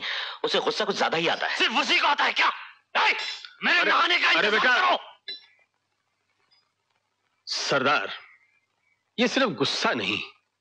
इतनी प्यारी हंसती खेलती बच्ची का गुस्सा इतना भयानक नहीं हो सकता। मुझे लगता है उस पर ज़रूर किसी भूत प्रेत का साया है। देखो भाई आज तुम्हारी बेटी है। कल मेरी होने वाली बहू है। तुम्हारी जगह मैं होता तो मैं भुजंगी बाबा को बुला लेता। भुजंगी बाबा? वो कौन है? बड़े माने हुए बाबा है। बहुत पहले उनसे एक बार मिला था। बड़ा नाम सुना है उनका। गांजे का एक कश लगा के बड़े से बड़े खतरनाक भूत को अपने बस में कर लेते हैं। तो बुलाओ ना उन्हें। ठीक है मैं आज ही बुलवा लेता हूँ। अच्छा।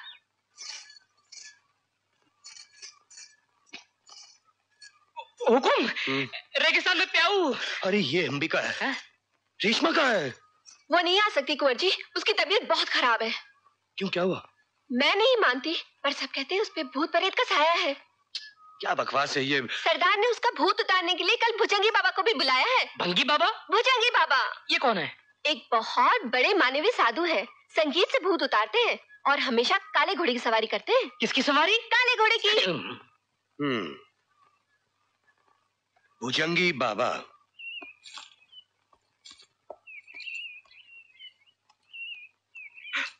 हुकुम यही है वो भुजंगी बाबा। प्यारे शिष्य सुरंगी। आदेश गुरुश्रेष्ठ भुजंगी। पुत्र खिलाओ एक नारंगी। नारंगी? प्यास के मारे गले में कांटों का वन उगाया है। समझो भैरवी पर पीलू की छाया है। है कोई फल फ्रूट? गुरुदेव फ्रूट तो नहीं है। लेकिन ये फ्रूटी है। आहा। यार अंबिका की मेहरबानी से यहाँ तक तो पहुँच गए। लेकिन अब इस भुजंगी का प्रोग्राम कैसे फिट किया जाए? ये तो खुद ही भूत लगता है हुकुम। साला भूत? हाँ। अरे हाँ भूत! अबे भूत ही भूत को पकड़ेगा ना। कैसे? तू समझा नहीं दुहाई हो भुजंगी बाबा की दुहाई हो भुजंगी बाबा की।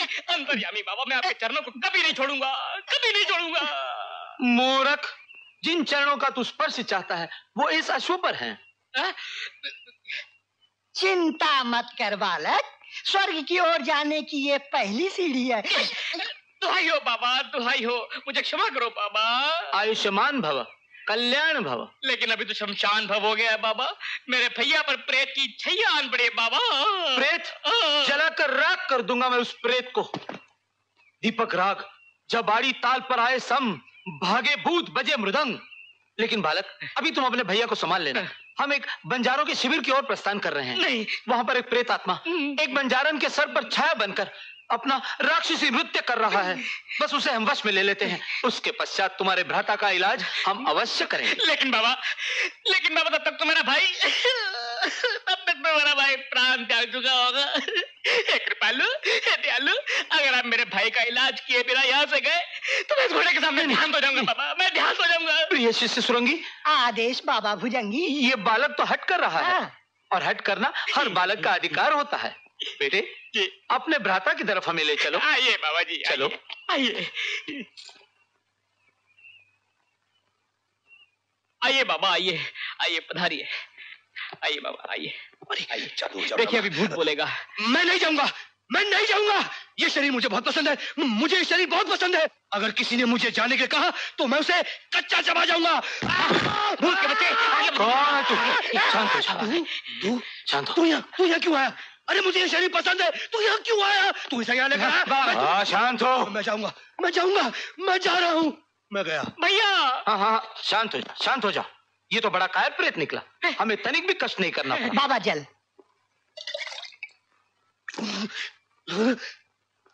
भैया भैया आपको होश आ गया भैया? भैया अगर आपको होश नहीं आता ना तो मैं बेहोश हो जाता। मैं कहूँ सरजू? भैया आप भुजंगी बाबा के चरणों में। हा? अरे इनको देखते ही वो भूत दुम दबा के भाग गया। और भैया अब इनकी कृपा से आपके रास्ते में कोई अड़चन नहीं आएगी। अच्छा? बाबा बाबा मैं आपका बहुत आभारी हूँ। बहुत बहुत आभारी हूँ। मेरे पास शब्द नहीं है कहने के लिए कि मैं कितना कोई बात आभारी हूँ। नहीं कोई बात नहीं। बाबा आप कहिए आप कुछ भी कहिए मैं आपकी सेवा में हाजिर हूँ। कुछ भी कहिए। हाँ हाँ बालक तुम क्या सेवा कर सकते हो हमारी? अब देखिए बाबा हमारे पास एक विशेष किस्म का गांजा है। भैया सरजू जा जल्दी ले आओ चिलम। बाबा बाबा उस चिलम से एक कश लेंगे ना एक कश। तो आप सातवें आसान में फुकट की सैर कर रहे हो फुकट में। हम ज़रूर उसका प्राशन करेंगे। हाँ सरजू बम बम भोले। बम भोले पधारिए पधारिए बम बम बम बम मेरा जी। मेरा जी। ये लीजिए लीजिए। लगाइए कश लगाइए। जी। गंजे को गांजा दो। जय भोलेनाथ।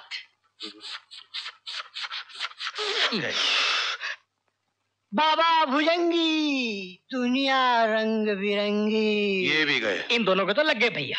तीन दिन। तीन दिन से पहले क्या उठेंगे अभी ये हम्म, ये तो है। लेकिन सरजू ये दाढ़ी मूंछ बाल का क्या करूँगा मैं? उसका प्रबंध मैं कर लूँगा। पक्का? पक्का पक्का। चल। चलो।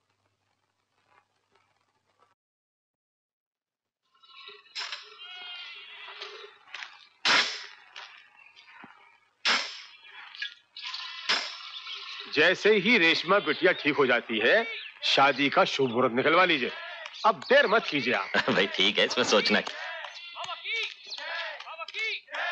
मुबारक हो सरदार। भुजंगी बाबा आ गए। अब सब ठीक हो जाएगा। आइए। बाबा की। बाबा की। बाबा की।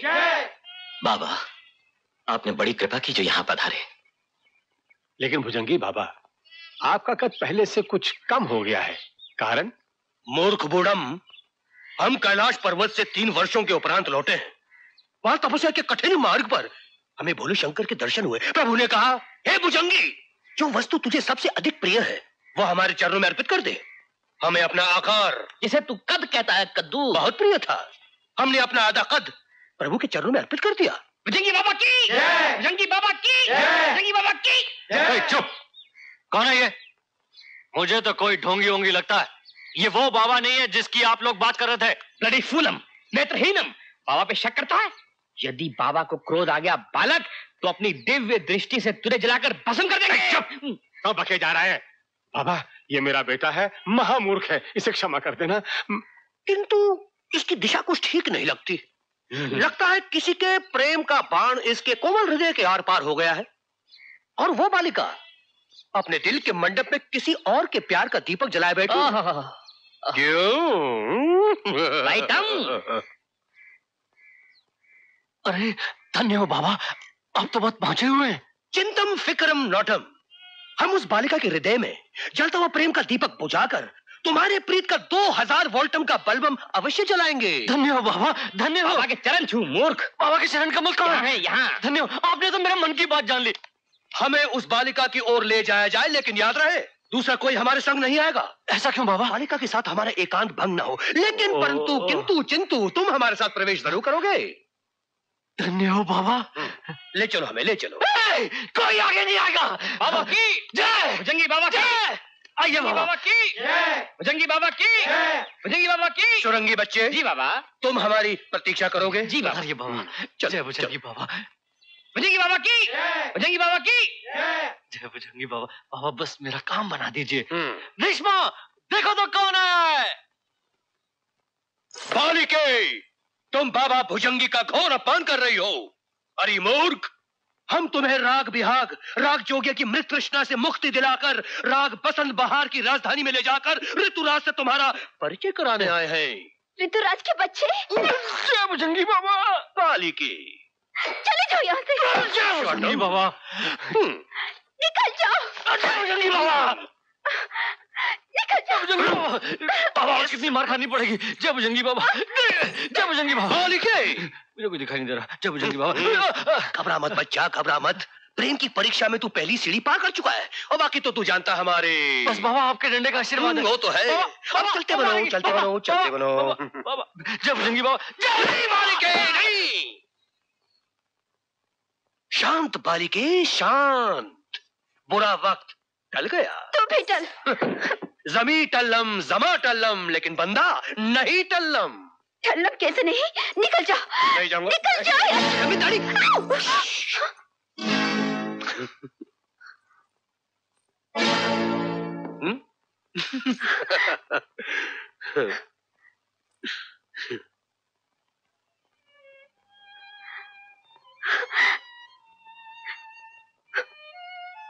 ये क्या? तुम रो रही हो? तुम्हें नहीं मालूम कि मुझ पर क्या गुजरी है। अब मैं आ गया हूँ सब ठीक हो जाएगा। मगर मगर तुम यहाँ क्यों आए? ये लोग तुम्हें ज़िंदा नहीं छोड़ेंगे। तुम्हारे बगैर भी मर जाना ही था। ऐसा मत कहो। अगर हमारी किस्मत में मरना ही है तो तुमसे पहले मैं मरूँगी। अरे ये क्या? भुजंगी बाबा।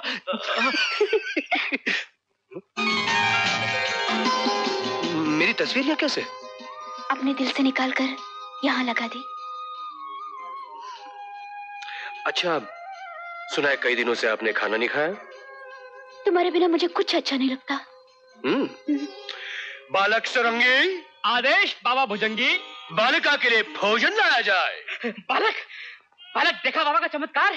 बालिका खाना मांग रही है। रेशमा ठीक हो गई रेशमा ठीक हो गई अंदर जा सकता बाबा का आदेश है। तुम जाकर खाने का प्रबंध करो।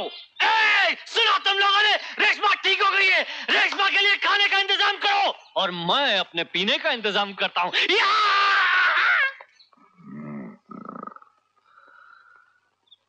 लेकिन हम लोग यहाँ से निकलेंगे कैसे? अरे मैं कोई ना कोई रास्ता निकाल ही लूँगा।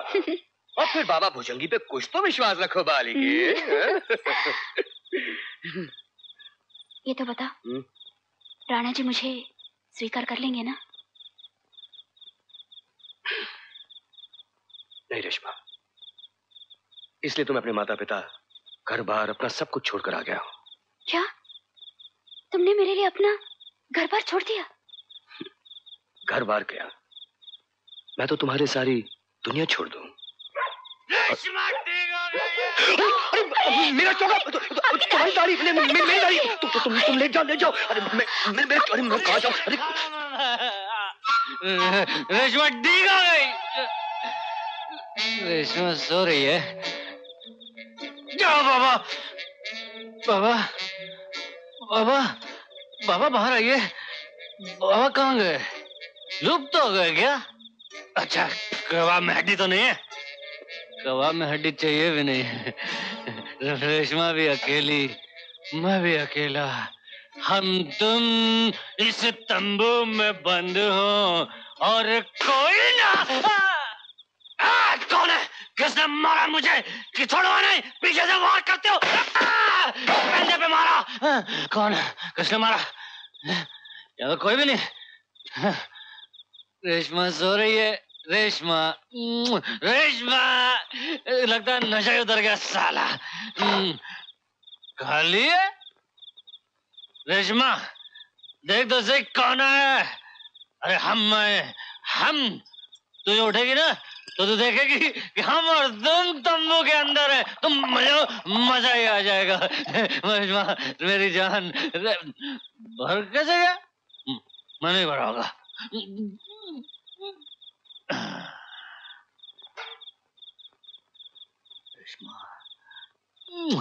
रेशमा अब तो आएगी मेरे बाहों में कोई रोक नहीं है? ए, ए, कौन है? कौन है? कौन है? पीछे पीछे कौन है? छोड़ो मार दूँगा खत्म कर दूँगा हटाओ ए, पीछे से वार करते हो ए, ए, फिर मारा पेंदे पे मारा पेंदे पे मारा ए, ए, कौन है मारा मुझे किसने मारा? रेशमा रेशमा। फिर मारा फिर मारा मुझे। तूने मारा मेरे को? तूने मारा? अच्छा फिर से मार के बता। आ, अरे तो फ़ोटो भी मारती है फ़ोटो भी मारती है। छोड़ो वाली। ज़ोर से लगी ना? हाँ, हाँ, हम्म। रेशमा। रेशमा। रेशमा। तू रेशमा को जानता? है बहुत अच्छी तरह। रेशमा। तो रेशमा से मेरी सिफारिश कर देना? तेरी सिफारिश। अच्छा एक कदम आगे बढ़ो। आगे? हम्म। लो। मेरी तरफ़ देखो। देखा। आ, भूत है भूत है भूत है ज़रूर भूत है भूत है भूत!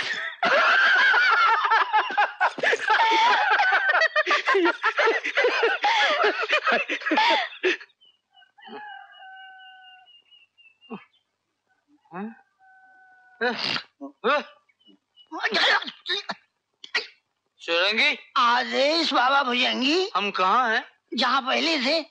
हम पहले कहाँ थे? जहाँ अभी हैं। लेकिन हमें बंजारों के शिविर की ओर प्रस्थान करना था। हाँ बाबा।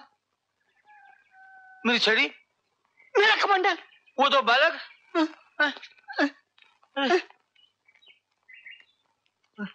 हैं? हमारा घोड़ा भी नहीं है। ठीक कह रहे हैं बाबा। हम्म वो दोनों बालक बड़े नटखट निकले। भुजंगी बाबा की।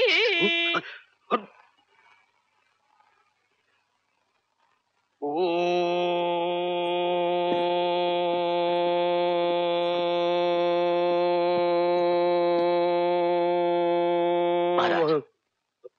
सरदार श्री। महाराज आपकी कृपा से मेरी बेटी बिल्कुल ठीक हो गई है। मेरी समझ में नहीं आता कि कैसे आपका धन्यवाद करूँ। ज़रूरत भी नहीं सरदार श्री। हम तो यहाँ आए इसलिए थे कि तुम्हारा और तुम्हारी बेटी का दुख हरण निवारण करने। जी लेकिन इतनी जल्दी अच्छी हो जाएगी विश्वास नहीं होता। आपने तो चमत्कार ही कर दिया। चमत्कार नहीं सदाश्री ये तो प्रकृति का लाक्ष ग्रह है लाक्ष ग्रह। जी क्या है? मानवता के अमूर्त विज्ञान का संस्मरण का विमोचन है। विमोचन? अच्छा उद्घाटनम प्रतिशोधम प्रतिघाटम। हाँ हाँ हाँ, धन्य महाराज धन्य है। आपने तो महाराज हम पर बहुत बड़ा उपकार किया है। इसका आभार प्रकट करने के लिए हमारे कबीले ने एक विशेष समारोह का आयोजन किया है। आशा है महाराज आप अवश्य पधारेंगे। समारोह में पूजा पाठ होगा या हवन? नहीं महाराज नाच गाना होगा। ओहो यानी के बालिके भी नाचेगी? हाँ महाराज। हम अवश्य आएँगे अवश्य आएँगे।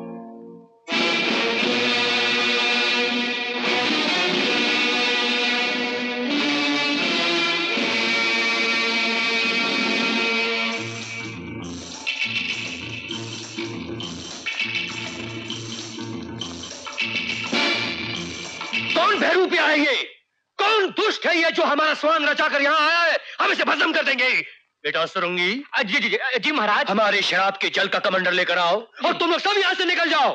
क्योंकि जब हम अपने शराब का जल इस पे छिड़केंगे तो ये भस्म हो जाएगा। और जब उसकी राख उड़ेगी और जिन आँखों में पड़ेगी उसके वंश में सात पीढ़ियों तक सब अंधे ही अंधे पैदा होते रहेंगे। समझे? बच्चा सुरंगी? हाँ बाबा भुजंगी। ये हम क्या देख रहे हैं? ये कौन दुष्ट हमारा स्थान ग्रहण करके बैठा है? हम उल्टी पुल्टी ताने मार मार के इसकी छाती छलनी कर देंगे। अरे ओ भेड़ूपे के वंशज! भिखारी के उत्तराधिकारी तेरी तो मैं शिनशिना की बूबलाबू कर दूँगा। और तुम लोग यहाँ खड़े खड़े हमारा अपमान सहन कर रहे हो? अरे निकालो इससे सामानों से। अरे ये क्या कर हो? बाबा की दाढ़ी को हाथ लगा रहे हो? इसकी दाढ़ी असली है सरदार। इसने उगा ली होगी लेकिन इसकी आत्मा नकली है। अरे ये तो वही नटखट है। हाँ बाबा।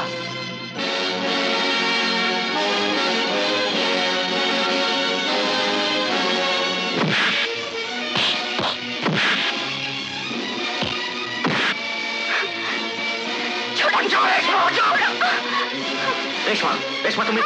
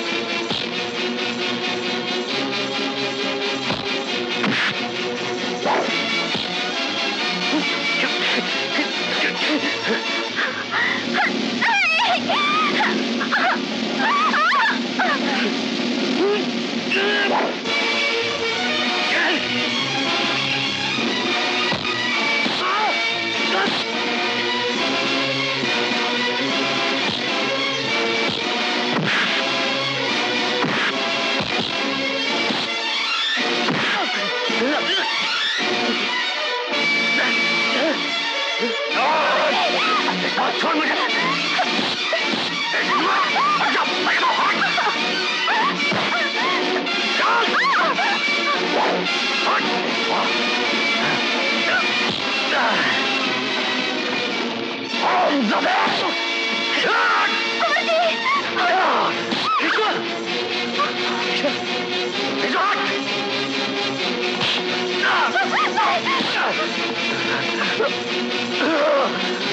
हमारी बंदूक लाओ। कहाँ से निकल चले यहाँ से?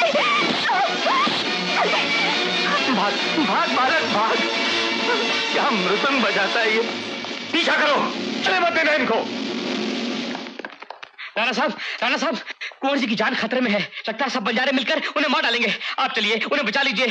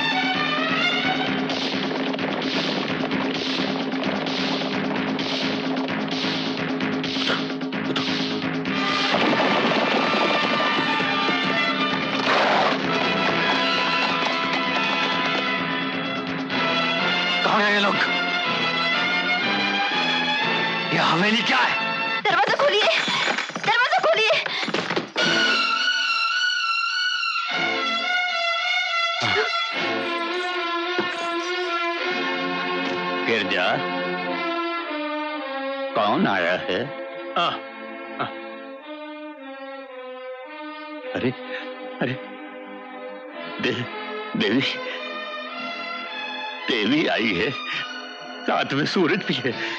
लेकिन बच्चों ये ये तुम लोगों को क्या हो गया है?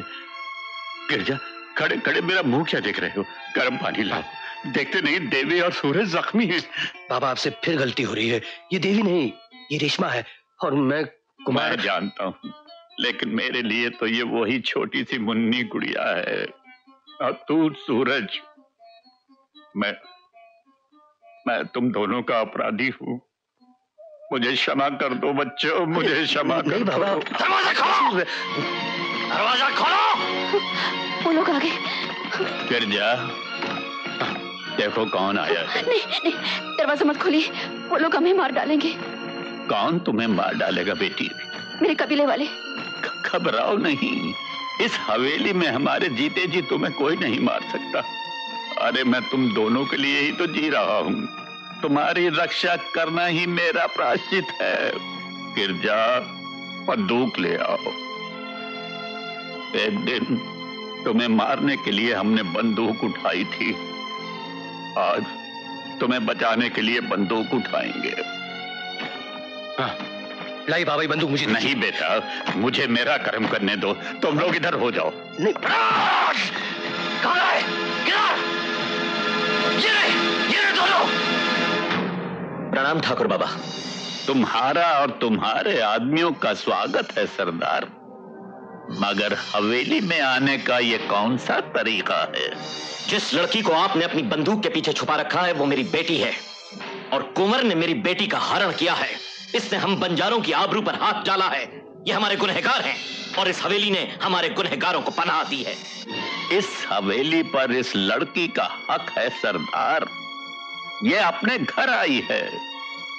और अगर ये बात तुम्हारी समझ में ना आए तो ये समझ लो कि इस वक्त ये दोनों हमारी पनाह में हैं। और इन तक पहुँचने के लिए तुम्हें हमारी लाश का दरिया पार करना होगा। दो लाशों और तीन लाशों में कोई फ़र्क नहीं होता। हम तो इसे मार डालेंगे। दूसरी या तीसरी लाश किसकी होगी ये तो पता नहीं लड़के। लेकिन पहली लाश तेरी भी हो सकती है। हमारी आपसे कोई दुश्मनी नहीं है। हमें सिर्फ़ कुंवर चाहिए ज़िंदा या मुर्दा। कुंवर का नाम भी अपनी ज़ुबान से निकाला तो यहाँ लाशों का ढेर लग जाएगा। राणा जी ये आपकी हवेली नहीं है और हमारे पैरों पे पड़ी वफा की बेड़ियाँ आपने खुद उस दिन काट दी थी। होश की बात करो बंजारे। तुम अपनी बेटियों को जादू टोना इसलिए सिखाते हो कि वो बड़े घर के लड़कों को अपने वश में कर सके। अरे तुम चुप करो। हम इस लड़की को गोली मार देंगे। ठहरो राणा। गोलियाँ रिश्तों की कदर नहीं जानती।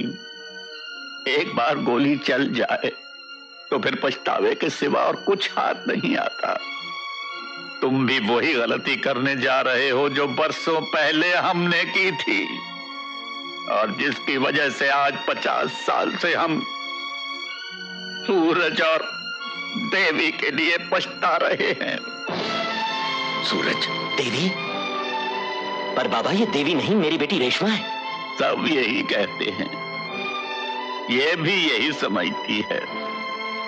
मगर हम जानते हैं, गिरजा जानता है, इस गाँव के बूढ़े बुज़ुर्ग जानते हैं कि आज से पचास साल पहले ये हमारी बेटी थी। इस तस्वीर को देखो, सरदार। शायद तुम्हें कुछ पता चल जाए।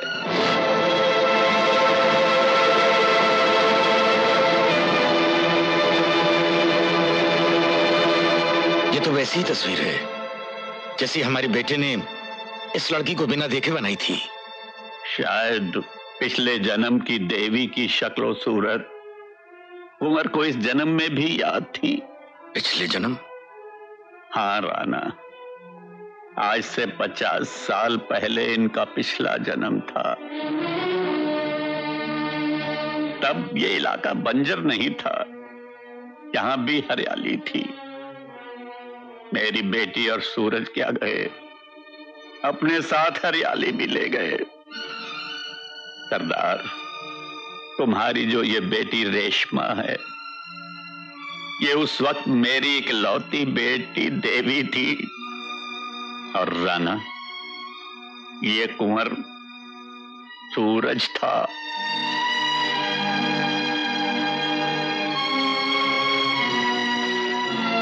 सूरज लखिया बंजारे का बेटा था। लखिया हमारे लिए जड़ी बूटियाँ लाया करता था। उसके साथ उसका छोटा सा बेटा सूरज भी आया करता था। फिर एक रात सूरज अकेला आया। उसकी आँखों में डर था। उसके कपड़े फटे हुए थे। पता चला कि आपस की दुश्मनी में लखिया मारा गया। और उसके दुश्मन उसके बेटे सूरज को तलाश कर रहे। सूरज की जान बचाने के लिए हमने उसे हवेली में ही रख लिया। हमारी बेटी देवी और लखिया का बेटा सूरज एक साथ खेल कर जवान हुए। मगर हमारी मगरूर आँखें ये न देख पाई कि उसके साथ साथ उनका प्यार भी जवान हो रहा था।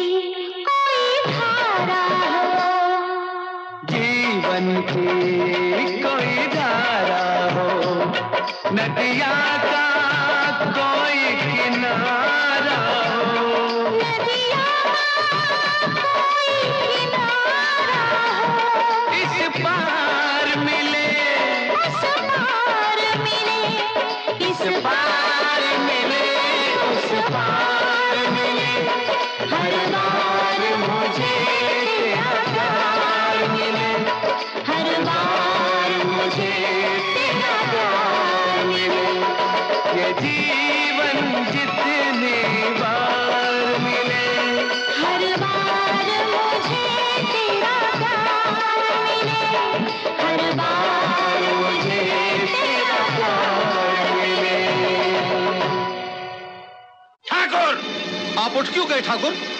मैं इसलिए उठ गया ठाकुर नटवर सिंह।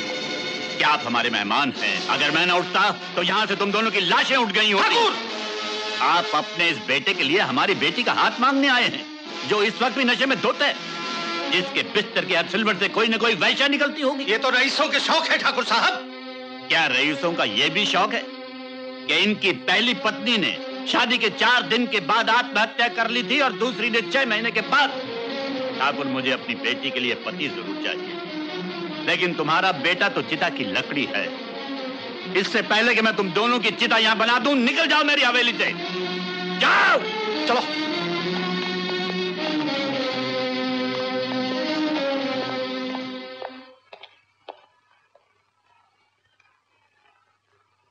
गिरजा, देवी घर में नहीं है। कहाँ गई है? हम पूछ रहे हैं देवी कहाँ गई है? हुकुम सूरज बड़ा नमक हराम निकला। वो बिटिया को बहकाकर नदी किनारे। लखिया बंजारे के बेटे की ये हिम्मत? वो इस हवेली की बेदाग दीवारों पर अपना नाम लिखना चाहता है। गिर जा! उसे पकड़कर फ़ौरन हमारे सामने लाओ। मगर देवी बिटिया के बारे में भी सोच लीजिए हुकुम। उसके बारे में क्या सोचना है? वो अगर कीचड़ में नहाना चाहेगी तो क्या हम उसे कीचड़ में नहाने देंगे? हम ठाकुरों की बेटियों का ब्याह वहीं होता है जहाँ उनके माँ बाप चाहें। हम अगले महीने ही देवी की शादी ठाकुर वीर सिंह के बेटे से कर देंगे। तो फिर सूरज का ज़िंदा रहना ठीक नहीं है हुक्म। आपकी आज्ञा हो तो उसे ठिकाने लगा दिया जाए।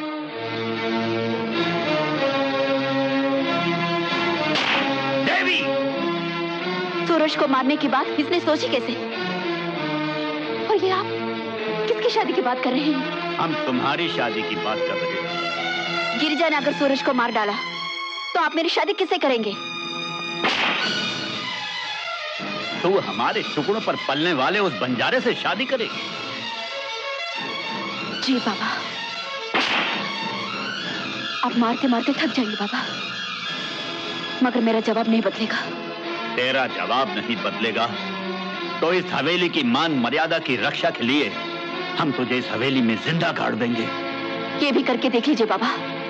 और अगर आपने ऐसा किया तो मैं सूरज को पाने के लिए दूसरा जन्म लूँगी। और मैं भगवान से कहूँगी कि अगले जन्म में ऐसे बाप की बेटी ना बनाए जिसे मुर्दा हवेली अपनी जीती जागती बेटी से ज़्यादा प्यारी है।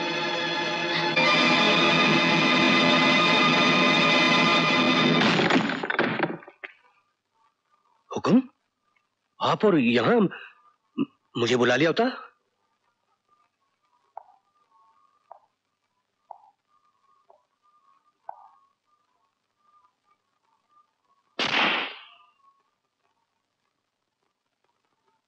मेरा कसूर हुक्म। तेरे पास जो ज़िंदगी है, वह हमारा एक एहसान है, बंजारे के बेटे। देवी तेरे लिए पूजनी होनी चाहिए थी। क्योंकि वो हमारी बेटी है। लेकिन तूने, अगर तुझे हमारी दया ने पाल पोस कर बड़ा न किया होता तो भवानी माँ की सौगंध हम तुझे आज ही मार डालते। निकल जा हमारे इलाके से। यहाँ नमक हरामों के लिए कोई जगह नहीं है। और आज के बाद अगर इस इलाके में तू फिर नज़र आया तो हम तुझे ज़िंदा जला डालेंगे। जो आ गया हुक्म। मगर मेरी समझ में मेरा कसूर नहीं आया। अगर हमारी जबान से तेरा कसूर निकल गया तो हमारी बंदूक से गोली भी निकल जाएगी। चला जा यहाँ से।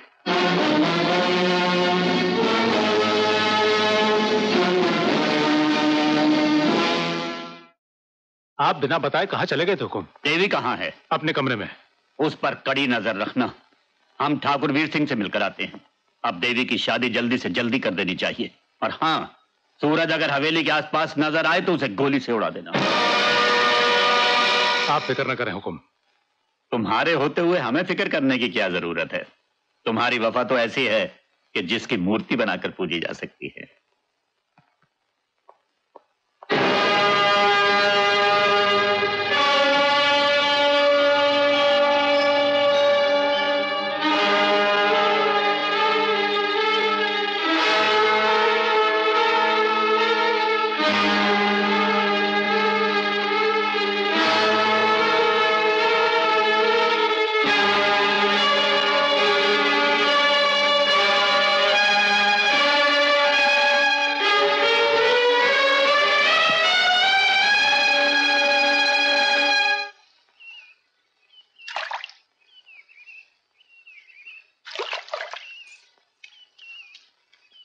देवी तुम यहाँ? किसी ने तुम्हें देखा तो नहीं? देख भी ले तो क्या? मैं क्या पहली बार तुमसे मिलने आई हूँ? पहले बात और थी देवी। अब तुम्हारी शादी होने वाली है। किसी ने तुम्हें मेरे साथ देख लिया तो तो तुम्हारी शादी में विघ्न पड़ सकता है। तुम क्या समझते हो? कि, कि मैं किसी अनजान के साथ शादी कर लूँगी? ये तुम्हारे बाबा का फैसला है। और तुम अच्छी तरह जानती हो कि जब तुम्हारे बाबा कोई फैसला कर लेते हैं तो दुनिया की कोई भी ताकत उसे नहीं बदल सकती। मैं तुम्हारा फैसला जानना चाहती हूँ। मेरा फैसला? हाँ तुम्हारा। क्योंकि बाबा तो अपने ठकुराई के पहाड़ पर खड़े हैं। वहाँ से तुम तो उन्हें दिखाई नहीं दे सकते। इसलिए तुम्हारे पास सिर्फ़ एक ही रास्ता है कि मुझे लेकर कहीं निकल चलो। ये तुम कैसी बात कर रही हो देवी? मेरी बात समझने की कोशिश करो सूरज। अब और कोई रास्ता नहीं है। बाबा मेरी शादी तुम्हारे साथ कभी नहीं करेंगे। ये तो मैं भी जानता हूँ। लेकिन इसका यह मतलब तो नहीं कि हम उनकी आत्महत्या का कारण बन जाएँ। तुम्हारे बाबा कभी इस बदनामी को बर्दाश्त नहीं कर पाएँगे कि उनकी बेटी उन्हीं के एक मामूली नौकर के साथ भाग जाए। तो तुम क्या चाहते हो? कि मैं चुपचाप डोली में बैठकर उस आदमी के घर चली जाऊँ, जिसे मैंने आज तक देखा नहीं? नहीं, सूरज, ये कभी नहीं होगा। सूरज, मैंने तुम्हें हमेशा अपने पति के रूप में देखा है। मैं सिर्फ़ तुम्हारे साथ सुखी रह सकती हूँ और किसी के साथ नहीं। देखो, सूरज, कल बाबा टीका लेके जा रहे हैं। उससे पहले हम लोग कहीं बहुत दूर चले जाएँगे। हाँ सूरज। यहाँ से बहुत दूर तो चले जाएँगे, लेकिन अपने आप से कहाँ भागेंगे? मेरी आत्मा हमेशा मुझे कोसती रहेगी। मैं अपनी ही नज़रों में गिर जाऊँगा कि जिस आदमी ने मुझ अनाथ को अपनी औलाद की तरह पाल पोस के बड़ा किया, उसके एहसानों की कीमत इस तरह चुकाई मैंने? नहीं देवी, नहीं। तुम्हें भगा ले जाकर मैं उस आदमी का इतना बड़ा अपमान नहीं कर सकता। लेकिन मेरी मोहब्बत का अपमान कर सकते हो? ठीक है, तुम अपने एहसानों की कीमत चुकाओ। और मैं इस नदी में कूदकर अपने प्यार की कीमत चुकाऊँगी। अरे ये क्या कह छोड़ दो छोड़ दो क्या हो गया? मुझे मार दो। होश में आओ देवी। छोड़ दो। क्या पागलपन? छोड़ दो।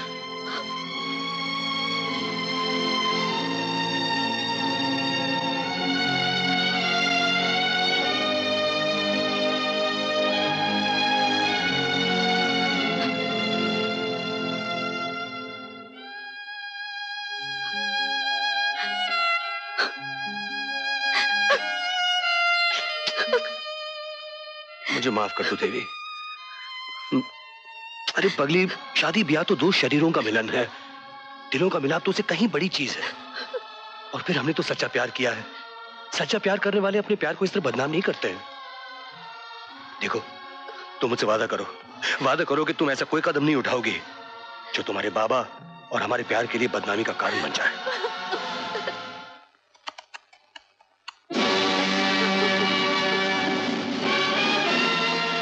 अच्छा। तो इस दो टके के नौकर के लिए ठाकुर ने मेरा रिश्ता ठुकरा दिया। कोई बात नहीं। ये लड़की मेरी बीवी भले ना बन सकी। लेकिन आज इसे मैं अपने पाँव की जूती ज़रूर बनाऊँगा। हुकुम मुझे क्षमा कर दे हुकुम मुझे क्षमा कर दे। क्या हुआ? अनर्थ हो गया घोर अनर्थ हो गया। देवी कहाँ है?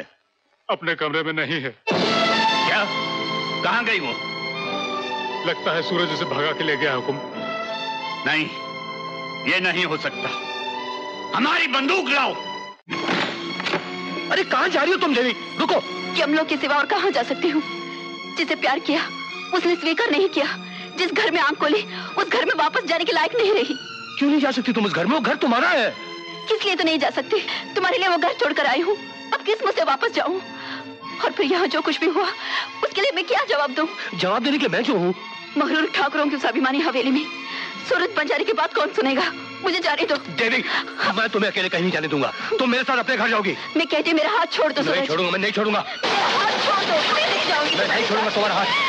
मेरे साथ चलो तुम। करो देवी। मेरी बात मान लो। छोड़ दो छोड़ दो देवी, क्या बचपना है ये तुम्हें मेरे साथ चलना पड़ेगा। मेरी बात मान लो। चलो मेरे साथ क्या ये? मेरी बात मानो तो सही तुम।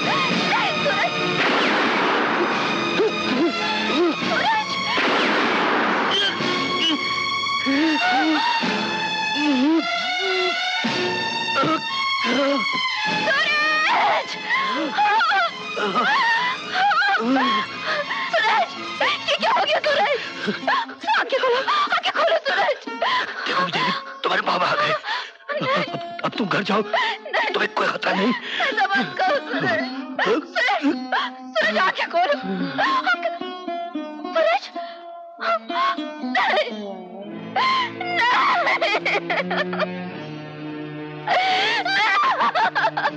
ऐसा गिर जा। इस हराम खोर की लाश उठाकर नीचे फेंक दो। खबरदार जो इसको हाथ लगाया तो। देवी इस नीच बंजारे की यही सजा थी। इसने हमारी इज़्ज़त से खेलने की कोशिश की। सूरज आपकी इज़्ज़त से नहीं खेल रहा था। आपकी इज़्ज़त से खेलने की कोशिश की महावीर सिंह ने जो मुझे यहाँ उठा कर ले आया। अगर सूरज यहाँ ना आ गया होता तो आपकी इज़्ज़त मिट्टी में मिल गई होती। मेरी इज़्ज़त बचाने के लिए सूरज ने उसको मार डाला। वो देखिए उसकी लाश। आपने बहुत बड़ा पाप किया है बाबा। एक बेगुनाह का खून किया आपने। मेरे सूरज को खून किया आपने मेरे सूरज को खून किया आपने। मुझे माफ़ कर दे देवी। मुझे हाथ मत लगाइए। मुझे हाथ मत लगाइए।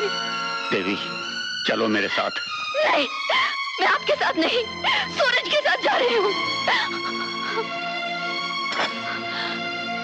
नहीं!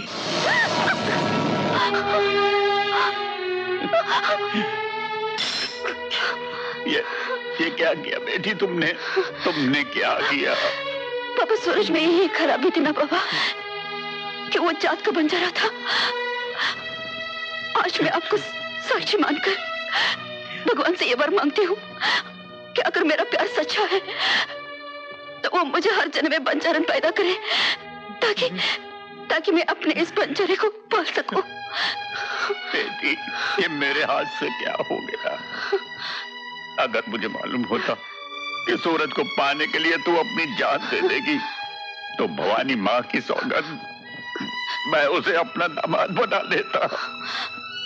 पापा अब मैं चैन से जा सकती हूँ पापा अब मैं चैन से मर सकती हूँ। मुझे मुझे वचन दीजिए। अगले जन्म में अब हम दोनों को मिला देंगे। सूरज को पाने के लिए। मैं अगला जन्म ज़रूर लूँगी पापा मुझे मुझे वचन दीजिए। मैं वादा करता हूँ। मैं वादा करता हूँ। मैं सूरज के साथ फिर आऊँगी बाबा। मैं सूरज के साथ देवी।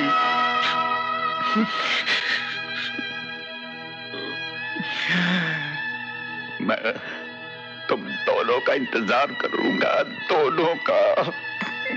मेरी वजह से इन बच्चों की जान गई ये हुक्म। इस जबान ने गलत बोला था। मैं इस जबान को काट डालूँगा। काट डालूँगा मैं इस जबान को। नहीं गिरजा नहीं।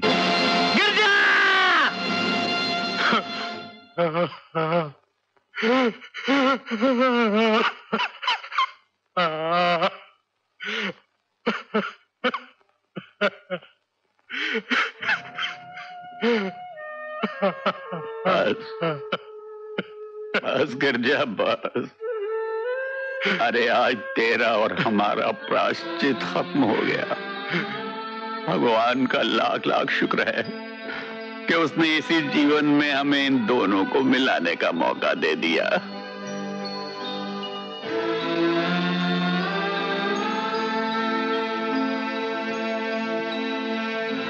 सरदार। राणा हम हाथ जोड़कर तुम दोनों से विनती करते हैं कि जो गलती एक बार हमसे हो गई थी तुम लोग उसे न दोहराना। ठाकुर बाबा आपने मुझे एक बहुत बड़ा पाप करने से बचा लिया। लेकिन मैं शक्ति सिंह को वचन दे चुका हूँ। ठाकुर बाबा रेशमा आपकी बेटी है। अगर आप कन्यादान करने को तैयार हैं तो मैं सरदार को इस वचन से मुक्त करता हूँ। बेटी जीते रहो बेटा जीते रहो। ठाकुर बाबा रेशमा अब आपकी बेटी है। अब आप जाने और राणा जी जाने। नहीं सरदार माणिक जो बात हमें बहुत पहले जान लेनी चाहिए थी उसे हम आज जान पाए हैं। प्यार करने वालों की अपनी एक मर्यादा होती है। अपनी एक कर्म भूमि होती है। हम आज वो करने जा रहे हैं जो आज तक किसी राजपूत ने नहीं किया। हमने माफ़ कर दो बेटी। हमने न जाने तुम्हारे बारे में क्या क्या नहीं कहा। जीती रहो। चलो, एक बात का तो फैसला हो गया कि कन्यादान ठाकुर बाबा करेंगे। और शादी? पंजारों के रीति रिवाज के मुताबिक तुम्हारे डेरे पर होगी सरदार। सुना सुना तुम लोगों ने, सुना, बादल गरज रहे हैं। लगता है शायद बरसों के बाद यहाँ बारिश होने वाली है। इस धरती के टुकड़े का शराब खत्म हो जाएगा। यहाँ फिर से हरियाली ही हरियाली होगी। हरियाली ही हरियाली होगी यहाँ फिर से।